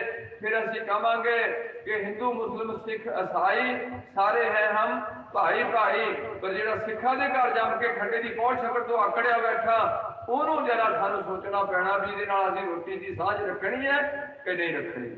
ਇਹਦੇ ਘਰ ਗੁਰੂ ਗ੍ਰੰਥ ਸਾਹਿਬ ਜਾਣੇ ਨੇ ਕਿ ਨਹੀਂ ਜਾਣੇ। ਜੇ ਤੁਸੀਂ ਕੋਈ ਪਾਬੰਦੀਆਂ ਦੀ ਐਦਾਂ ਦੀ ਨਾ ਸੋਚੋਗੇ, ਪੰਥ ਵੱਲੋਂ ਹੁਕਮ ਜ਼ਰੂਰ ਹੈ ਕਿ ਕੁੜੀ ਮਾਰ ਲੜੀ ਮਾਰ, ਸਿਰ ਗੁੰਮਣਾ ਰੋਟੀ ਬੇਟੀ ਦੀ ਸਾਂਝ ਨਹੀਂ ਕਰਨੀ। ਧੀਰ ਵਾਲੀਆਂ, ਰਾਮ ਰਾਈਆਂ ਬੜਪਾਗ ਸਿੰਘ ਵਾਲਿਆਂ ਨੂੰ ਇਹਨਾਂ ਨਾਲ ਸਾਂਝ ਨਹੀਂ ਰੱਖਣੀ। ਇਹ ਬੰਦੇ ਸਾਰੇ ਖੰਡੇ ਬਾਟੇ ਦੀ ਪਹੁੰਚ ਛਕ ਲੈਣ ਤੇ ਸਾਡੇ ਨਾਲ ਬੈਠਣ ਤੇ ਸਾਡਾ ਉਹੇ ਪਿਆਰ ਤੇ ਉਹੇ ਮੁਹੱਬਤ, ਉਹੇ ਭਾਈਵਾਲੀ ਦੀ ਸਾਖ ਮਜ਼ਬੂਤ ਰਹੂਗੀ। ਇਹ ਗੱਲ ਖਾਸ ਸੀ ਜਿਹਦੇ ਵਾਸਤੇ ਅੱਜ ਸਾਨੂੰ ਲੋੜ ਮਹਿਸੂਸ ਹੋ ਰਹੀ ਹੈ ਕਿ ਜਿਹੜੇ ਬੰਦੇ ਗੁਰੂ ਪੰਥ ਤੋਂ ਟੁੱਟੇ ਹੈ, ਉਹਨਾਂ ਨੂੰ ਕੁਛ ਨਾ ਕੁਛ ਅਸੀਂ ਕਿਸੇ ਤਰੀਕੇ ਨਾਲ ਆਪਣੇ ਨਾਲ ਜੋੜਨ ਦਾ ਯਤਨ ਕਰੀਏ। ਤੇ ਇਹ ਛੋਟੀ ਜਿਹੀ ਬੇਨਤੀ ਆਪ ਜੀ ਦੇ ਚਰਨਾਂ 'ਚ ਕੀਤੀ ਹੈ। ਸੋ ਗੁਰੂ ਪਾਤਸ਼ਾਹ ਰਹਿਮਤ ਕਰਨ ਮੇਰੇ ਵੀਰ ਜੀ ਇੱਕ ਛੋਟੇ ਜਿਹੇ ਸ਼ਬਦ ਦੀ ਸਾਂਝ ਪਾਣਗੇ ਕਲੀਅਰ ਤੋਂ ਨੇ ਤੇ ਉਸ ਤੋਂ ਬਾਅਦ ਤੁਸੀਂ ਸਮਾਪਤੀ ਵੱਲ ਵਧਣਾ। ਹਜੇ 15 ਮਿੰਟ ਰਹਿੰਦੇ ਨੇ 11 ਵਜੇ ਹੋਣ ਨੂੰ ਕਾਫੀ ਲੰਮਾ ਪ੍ਰਬੰਧ ਕੀਤਾ ਹੁੰਦਾ। ਚਾਨਣੀਆਂ ਲਾਈਆਂ ਹੁੰਦੀਆਂ ਨੇ, ਮੇਰੇ ਭਰਾਵਾਂ ਨੇ, ਬੱਤੀਆਂ ਫੂਕੀਆਂ ਹੁੰਦੀਆਂ ਨੇ। ਅਸੀਂ ਇਹ ਵੀ ਕਹਿੰਦੇ ਆ ਕਿ ਜੇ ਤੁਸੀਂ ਇੰਨਾ ਕੁਝ ਖਰਚ ਕਰਦੇ ਨੇ, ਉਹ ਇੱਕ ਸਾਲ ਬਾਅਦ, ਸਾਲ ਦਾ ਦੋ ਦੋ ਸਮਾਗਮ ਹੋਣ ਤੇ ਹਜੇ ਤੱਕ ਵੀ ਸਾਰੇ ਪਿੰਡ ਦੇ ਸਿੱਖ ਖੰਡੇ ਦੀ ਪੌਣ ਨਾ ਸਕੀ ਹੋਏ ਜਨਾਨੀਆਂ ਨੇ। ਫਿਰ ਇਹਦਾ ਮਤਲਬ ਅਸੀਂ ਪਖੰਡ ਕਰਦੇ ਹਾਂ ਜਾਂ ਕੀ ਕਰਦੇ ਮੈਨੂੰ ਤਾਂ ਪਤਾ ਨਹੀਂ। ਕਈ ਵਾਰ ਇਹ ਲੋਕ ਤਸੱਲੀ ਕਰ ਲੈਂਦੇ ਨੇ ਵੀ ਹਾਂ, ਠੀਕ ਆ ਜੀ ਮੈਂ ਅਗਰਾਈ ਦੇ ਦਿੱਤੀ, ਹੁਣ ਮੈਂ ਵੀ ਸ਼ਰਾਬ ਵੀ ਪੀ ਸਕਦਾ, ਹੁਣ ਮੈਂ ਬ- ਕਬਰ ਤੇ ਵੀ ਜਾ ਸਕਦਾ। ਜੇ ਤੁਸੀਂ ਐਦਾਂ ਦੀ ਅਗਰਾਈ ਦੇ ਕੇ ਆਪਣੇ ਆਪ ਨੂੰ ਧਰਮ ਤੋਂ ਨਿਕਲਾਪਣ ਕਰਨਾ, ਹਜੇ ਧਰਮ ਦਾ ਕੰਮ ਸ਼ੁਰੂ ਨਹੀਂ ਹੋਇਆ, ਤੁਸੀਂ ਸਮਾਪਤ ਕਰਕੇ ਬੈਠੇ ਆ। ਫਿਰ ਇਹ ਗੱਲ ਗੁਰੂ ਦੇ ਚਰਨਾਂ 'ਚ ਕਬੂਲ ਪ੍ਰਵਾਨ ਨਹੀਂ ਹੋਣੀ। ਇਹਨਾਂ ਗੱਲਾਂ ਦਾ ਧਿਆਨ ਰੱਖੋ ਜੀ। ਗੁਰੂ ਪਾਤਸ਼ਾਹ ਰਹਿਮਤ ਕਰਨ ਸਾਡੀ ਕੌਮ ਚੜ੍ਹਦੀ ਕਲਾ ਬਣੀ ਰਹੇ। ਨਗਰਾਂ, ਖੇੜਿਆਂ 'ਚ ਸੁਖ, ਸ਼ਾਂਤੀ ਬਣੀ ਰਹੇ। ਆਉਣ ਵਾਲੇ ਬੱਚੇ ਉੱਚਾ ਜੀਵਨ ਬਤੀਤ ਕਰਦੇ ਹੋਏ ਲੋਕ ਸੁਖੀ ਫਲੋਕ ਸੇ ਬਣ। ਦਸ ਕੋਲ ਇਹਨਾਂ ਚ ਸੇਵਾ ਨਿਭਾਦਿਆਂ ਹੋਇਆ। ਕਿਸੇ ਮੇਰੇ ਵੀਰ ਭੈਣ ਨੂੰ, ਮੇਰੀ ਮੁਰਬਤੀ ਨਾਲ ਕੋਈ ਐਸੇ ਕੋਈ ਗੱਲ ਨਿਕਲ ਗਈ ਹੋਏ, ਉਹ ਗੁਰੂ ਪਾਤਸ਼ਾਹ ਜੀ ਨੂੰ ਮੇਰੀ ਮੁਰਬਤੀ ਹੈ, ਉਹ ਤੁਸੀਂ ਮੈਨੂੰ ਮਾਫ ਕਰ ਦੇਣਾ। ਤੇ ਜੇ ਤੁਹਾਡੀ ਕੌਮ ਦਾ ਦੁੱਖ ਹੈ, ਉਹ ਸਿੱਖੋ, ਜੇ ਤੁਸੀਂ ਸਿੱਖ ਲਿਖਦੇ ਆ ਆਪਣੀ ਕੌਮ ਬਾਰੇ ਰਾਤ ਨੂੰ ਸੌਣ ਲੱਗਿਆ, ਸੋਚੋ ਵੀ ਮੈਂ ਇਸ ਕੌਮ ਬਾਰੇ ਕੀ ਕਰਦਾ। ਉਹ ਮੇਰੇ ਬਜ਼ੁਰਗਾਂ ਨੇ ਬੜੀਆਂ ਕੁਰਬਾਨੀਆਂ ਦਿੱਤੀਆਂ। ਤੁਸੀਂ ਇੱਕ ਕੇਸ ਰੱਖਣ ਦੀ ਕੁਰਬਾਨੀ ਨਹੀਂ ਕਰ ਸਕਦੇ। ਤੁਸੀਂ ਇੱਕ ਕਿਰਪਾਨ ਪਾਉਣ ਦੀ ਕੁਰਬਾਨੀ ਨਹੀਂ ਦੇ ਸਕਦੇ। ਤੁਸੀਂ ਨਿਤਨੇਮ ਕਰਨ ਦੀ ਕੁਰਬਾਨੀ ਨਹੀਂ ਦੇ ਸਕਦੇ। ਤੁਸੀਂ ਨਸ਼ੇ ਛੱਡਣ ਦੀ ਕੁਰਬਾਨੀ ਨਹੀਂ ਦੇ ਸਕਦੇ। ਤੇ ਜੇ ਇੰਨਾ ਕੁਝ ਵੀ ਤੁਸੀਂ ਨਹੀਂ ਕਰ ਸਕੇ, ਫਿਰ ਮੈਂ ਕਹੂੰਗਾ, ਸਾਨੂੰ ਕਦੇ ਵੀ ਸਿੱਖਾਂ ਦੇ ਘਰੇ ਜੰਮਣ ਦਾ ਹੱਕ ਨਹੀਂ। ملاو فتح جی باہر ذکر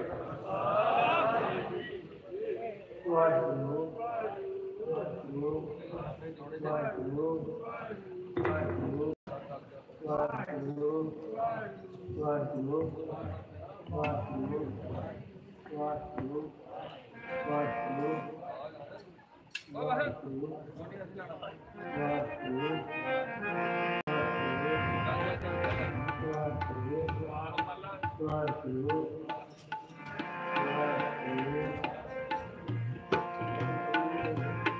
ਜਿੱਤੇ ਜਾਗੇ ਬਗੇ ਮੇਰਾ ਸਤਿਗੁਰੂ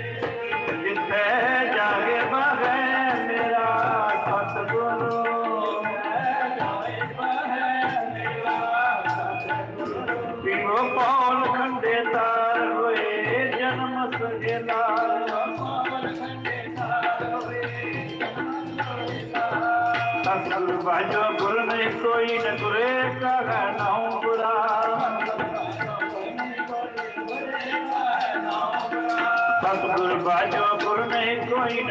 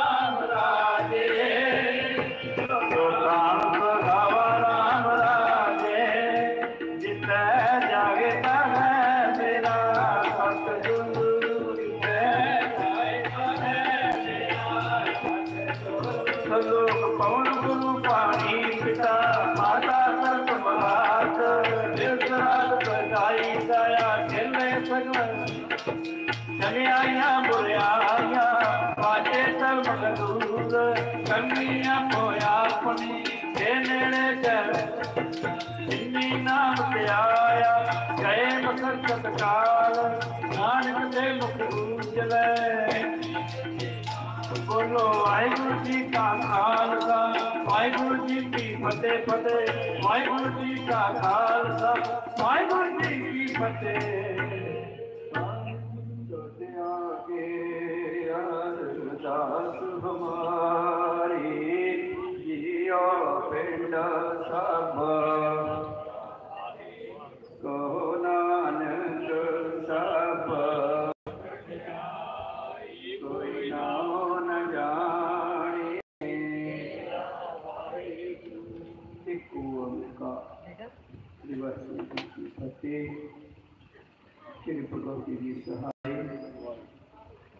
وار شری پکوتی جی کی، بادشاہ دسویں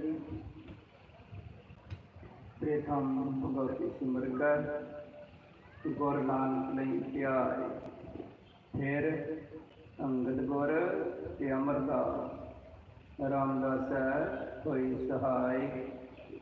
ارجن، ہر گوبند نو۔ سمرو شری ہر رائے۔ ਸ੍ਰੀ ਹਰਿ ਕ੍ਰਿਸ਼ਨ ਧਿਆਈ ਹੈ ਜੇ ਡਿਠਾ ਸਭ ਦੁਖ ਜਾਏ ਤੇਗ ਬਹਾਦਰ ਸਿਮਰਿਆ ਕਰਨਾ ਉਹਨੇ ਦਿਆਵਤਾ ਸਭ ਸੰਤ ਸਹਾਏ। ਦਸਵੇਂ ਪਾਤਸ਼ਾਹ ਸਾਹਿਬ ਸ੍ਰੀ ਗੁਰੂ ਗੋਬਿੰਦ ਸਿੰਘ ਜੀ ਮਹਾਰਾਜ, ਸਭ ਸੰਤ ਸਹਾਏ। ਦਸਾਂ ਪਾਤਸ਼ਾਹਾਂ ਦੇ ਆਤਮਿਕ ਜੋਤ ਸਰੂਪ ਧੰਨ ਧੰਨ ਸਾਹਿਬ, ਸ੍ਰੀ ਗੁਰੂ ਗ੍ਰੰਥ ਸਾਹਿਬ ਜੀ ਦੇ ਪਾਠ ਦਰਸ਼ਨ ਰਾਏ ਦਾ ਧਿਆਨ ਕਰਕੇ ਖਾਲਸਾ ਜੀ ਸਾਹਿਬ ਬੋਲਣਾ ਜੀ ਵਾਹਿਗੁਰੂ ਪੰਜਾਂ ਪਿਆਰਿਆਂ ਚੌਂ ਸੌ ਪਿਆਰਿਆਂ ਚਾਲੀ ਮੁਕਤਿਆਂ ਭਟੀਆਂ ਜਪੀਆਂ ਤਪੀਆਂ ਇਹਨਾਂ ਨਾਮ ਜਪਿਆ ਵੰਡ ਕੇ ਛਕਿਆ ਤੇ ਚਲਾਈ ਤੇ ਬਾਅਦ ਤੇ ਕੇਂਦਰ ਕੀਤਾ ਤਨਾ ਪਿਆਰ ਹੈ ਪਿਆਰ ਨੇ ਕਮਾਈ ਦਾ ਧਿਆਨ ਰੱਖੀ ਖਾਲਸਾ ਜੀ ਸੇ ਬੋਲਣਾ ਜੀ ਵਾਹ ਜਿੰਨਾ ਸਿੰਘਾਂ ਸੀ ਧਰਮ ਦੇ ਜੀ ਤੇ ਵਨ ਵਨ ਪਟਵਾ ਖੋਪੇ ਲੋਹਾਈਆਂ ਤੇ ਤੇ ਚੜੀ ਕਰਨਾ ਇਹਨਾਂ ਤੇ ਆਏ ਗੁਰਦਾਂ ਦੇ ਬਲੇ ਬਨ ਕੀਤੀਆਂ ਧਰਮ ਨੇ ਹਾਰਿਆ ਸਿੱਖੀ ਕੇ ਸੰਸਕ੍ਰਿਤ ਹੱਕ ਨਿਭਾਈ ਤਨਾ ਦਾ ਧਿਆਨ ਕਰਕੇ ਬੋਲੋ ਜੀ ਵਾਹ ਪੰਜਾਂ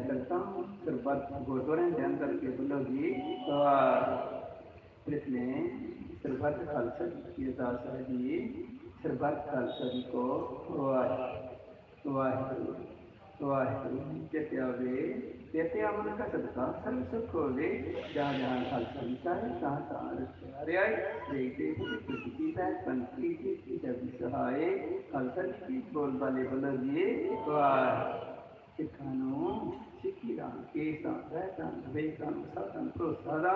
دانا نام چونکیاں چندے بنگے جو بدو بولو جی ਦਾਨਾ ਸਿਰਦਾਂ ਨਾਮ ਦਾ ਸ੍ਰੀਮਤੀ ਦਸਵੀ ਇਸ਼ਨਾਨ ਚੌਂਕੀਆਂ ਝੰਡੇ ਬੰਗੇ ਜੁਗਤ ਬਟਲ ਤਰਨ ਸਜੇਗਾ ਬੋਲੋ ਜੀ ਵਾਹ ਸਿੱਖਾਂ ਦਾ ਮਨ ਨਿਮ ਮਤ ਕੀ ਮਤ ਪਤ ਕਰ ਰੱਖਾ ਵਾਹਿਗੁਰੂ ਇਹ ਕਾਲ ਪੁਰਖ ਆਪਣੇ ਪੰਥ ਦੇ ਸਦਾ ਸਹਾਈ ਵਿਚਾਰ ਦਿਓ ਸ੍ਰੀ ਨਨਕਾਣਾ ਸਾਹਿਬ ਤੇ ਹੋਰ ਗੁਰਦੁਆਰੇ ਗੋਤਾਮਾ ਦੇ ਜਿਨ੍ਹਾਂ ਤੋਂ ਪੰਥ ਨੂੰ ਜੋੜਿਆ ਗਿਆ ਹੈ ਜੀ ਸਿੱਖ ਦੇ ਦਰਸ਼ਨਦਾਰੇ ਤੇ ਸੇਵਾ ਸੰਭਾਲ ਦਾ ਦਾਨ ਪਿਆਰੇ ਖਾਲਸਾ ਜੀ ਨੂੰ ਬਖਸ਼ੋ ਜਿਨੇ ਮਾਣਿਆਂ ਦੇ ਮਾਨ ਸਤਿਗੁਰੂ ਜੀ ਨਿਟਾਣਿਆਂ ਦੇ ਤਾਂ ਨੋਟਿਆਂ ਦੀ ਲੋੜ ਗਰੀਬ ਨਵਾਜ਼ ਧੰਨ ਧੰਨ ਸ੍ਰੀ ਗੁਰੂ ਨਾਨਕ ਦੇਵ ਸੱਚੇ ਪਾਤਸ਼ਾਹ ਜੀ। ਧੰਨ ਧੰਨ ਸ੍ਰੀ ਗੁਰੂ ਗ੍ਰੰਥ ਸਾਹਿਬ ਸੱਚੇ ਪਾਤਸ਼ਾਹ ਜੀਓ। ਤੁਸੀਂ ਕਿਰਪਾ ਕੀਤੀ, ਮਿਹਰ ਕੀਤੀ ਜੀ। ਅਸਾਂ ਉਪਰ ਹਾਰੇ ਕਲਯੁਗ ਦੇ ਜੀਵਨ ਵਿੱਚ ਤਰਸ ਕੀਤਾ, ਰਹਿਣ ਕੀਤਾ ਸਤਸੰਗ ਦੀਆਂ ਕੜੀਆਂ ਬਖਸ਼ੀਆਂ। ਤੁਸਾਂ ਮਿਹਰ ਕਰਕੇ ਆਪਣੇ ਬੱਚਿਆਂ ਪਾਸੋਂ ਕੀਰਤਨ ਕਰਵਾਏ ਪਿੱਛੇ ਪਿੱਛੇ ਬੁਲਵਾਇਆ। ਗੁਰਮਤਿ ਵਿਚਾਰਾਂ ਕਰਵਾਈਆਂ। ਤਨ ਮਨ ਧਨ ਕਰਕੇ ਵੱਖ ਵੱਖ ਪ੍ਰਕਾਰ ਦੀ ਸੇਵਾਵਾਂ ਵਿੱਚ ਤੁਸੀਂ ਆਪ ਹੀ ਨਹੀਂ ਹੁੰਦਾ ਤਾਂ ਜੀ। ਆਪ ਜੀ ਦਾ ਲੱਖ ਲੱਖ ਸ਼ੁਕਰ। ਬਹੁਤ ਬਹੁਤ ਧੰਨਵਾਦ ਜੀ। ਤੇਰੇ ਭੁੱਲਣਹਾਰ ਬੱਚਿਆਂ ਤੋਂ ਜਾਣੇ, ਅਣਜਾਣੇ ਹੋਈਆਂ ਸਭ ਪ੍ਰਕਾਰ ਸਮੂਹ ਗਲਤੀਆਂ ਭੁੱਲਾਂ ਕਿਰਪਾ ਕਰਕੇ ਮਾਫ ਅੱਗੇ ਤੋਂ ਸਮਸਤ ਵਕੀਲ ਕੀ ਕਰਕੇ ਜੀ।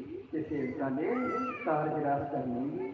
ਸਭ ਤਰ੍ਹਾਂ ਦੀ ਘਰ ਸੇਵਾ ਥਾਂ ਪਾਉਣੀ ਜੀ। ਸਰਬੱਤ ਮਾਈ ਭਾਈ ਦੀਆਂ ਸ਼ੁਭ ਭਾਵਨਾਵਾਂ ਪੂਰੀਆਂ ਕਰਨੀਆਂ।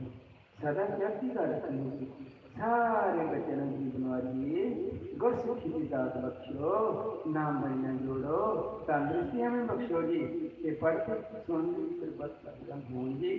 ਤੇ ਗੁਰੂ ਪਿਆਰੇ ਮੇਰੇ ਤੇ ਨਾਮੇ ਪ੍ਰਣਾਮ ਕਿਤੇ ਆਵੇ ਨਾਨਕ ਨਾਮ ਚੜ੍ਹਦੀ ਕਲਾ ਤੇਰੇ।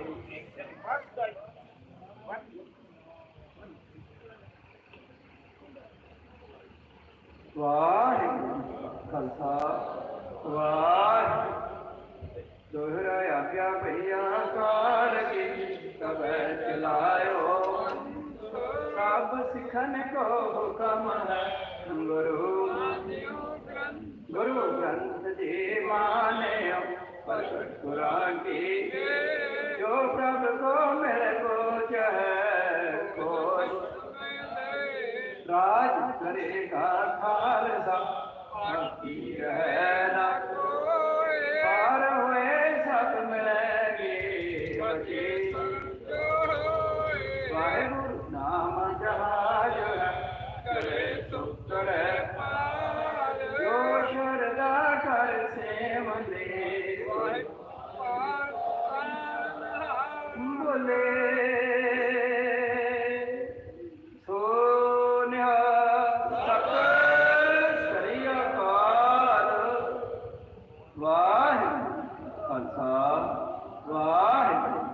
ਜੀ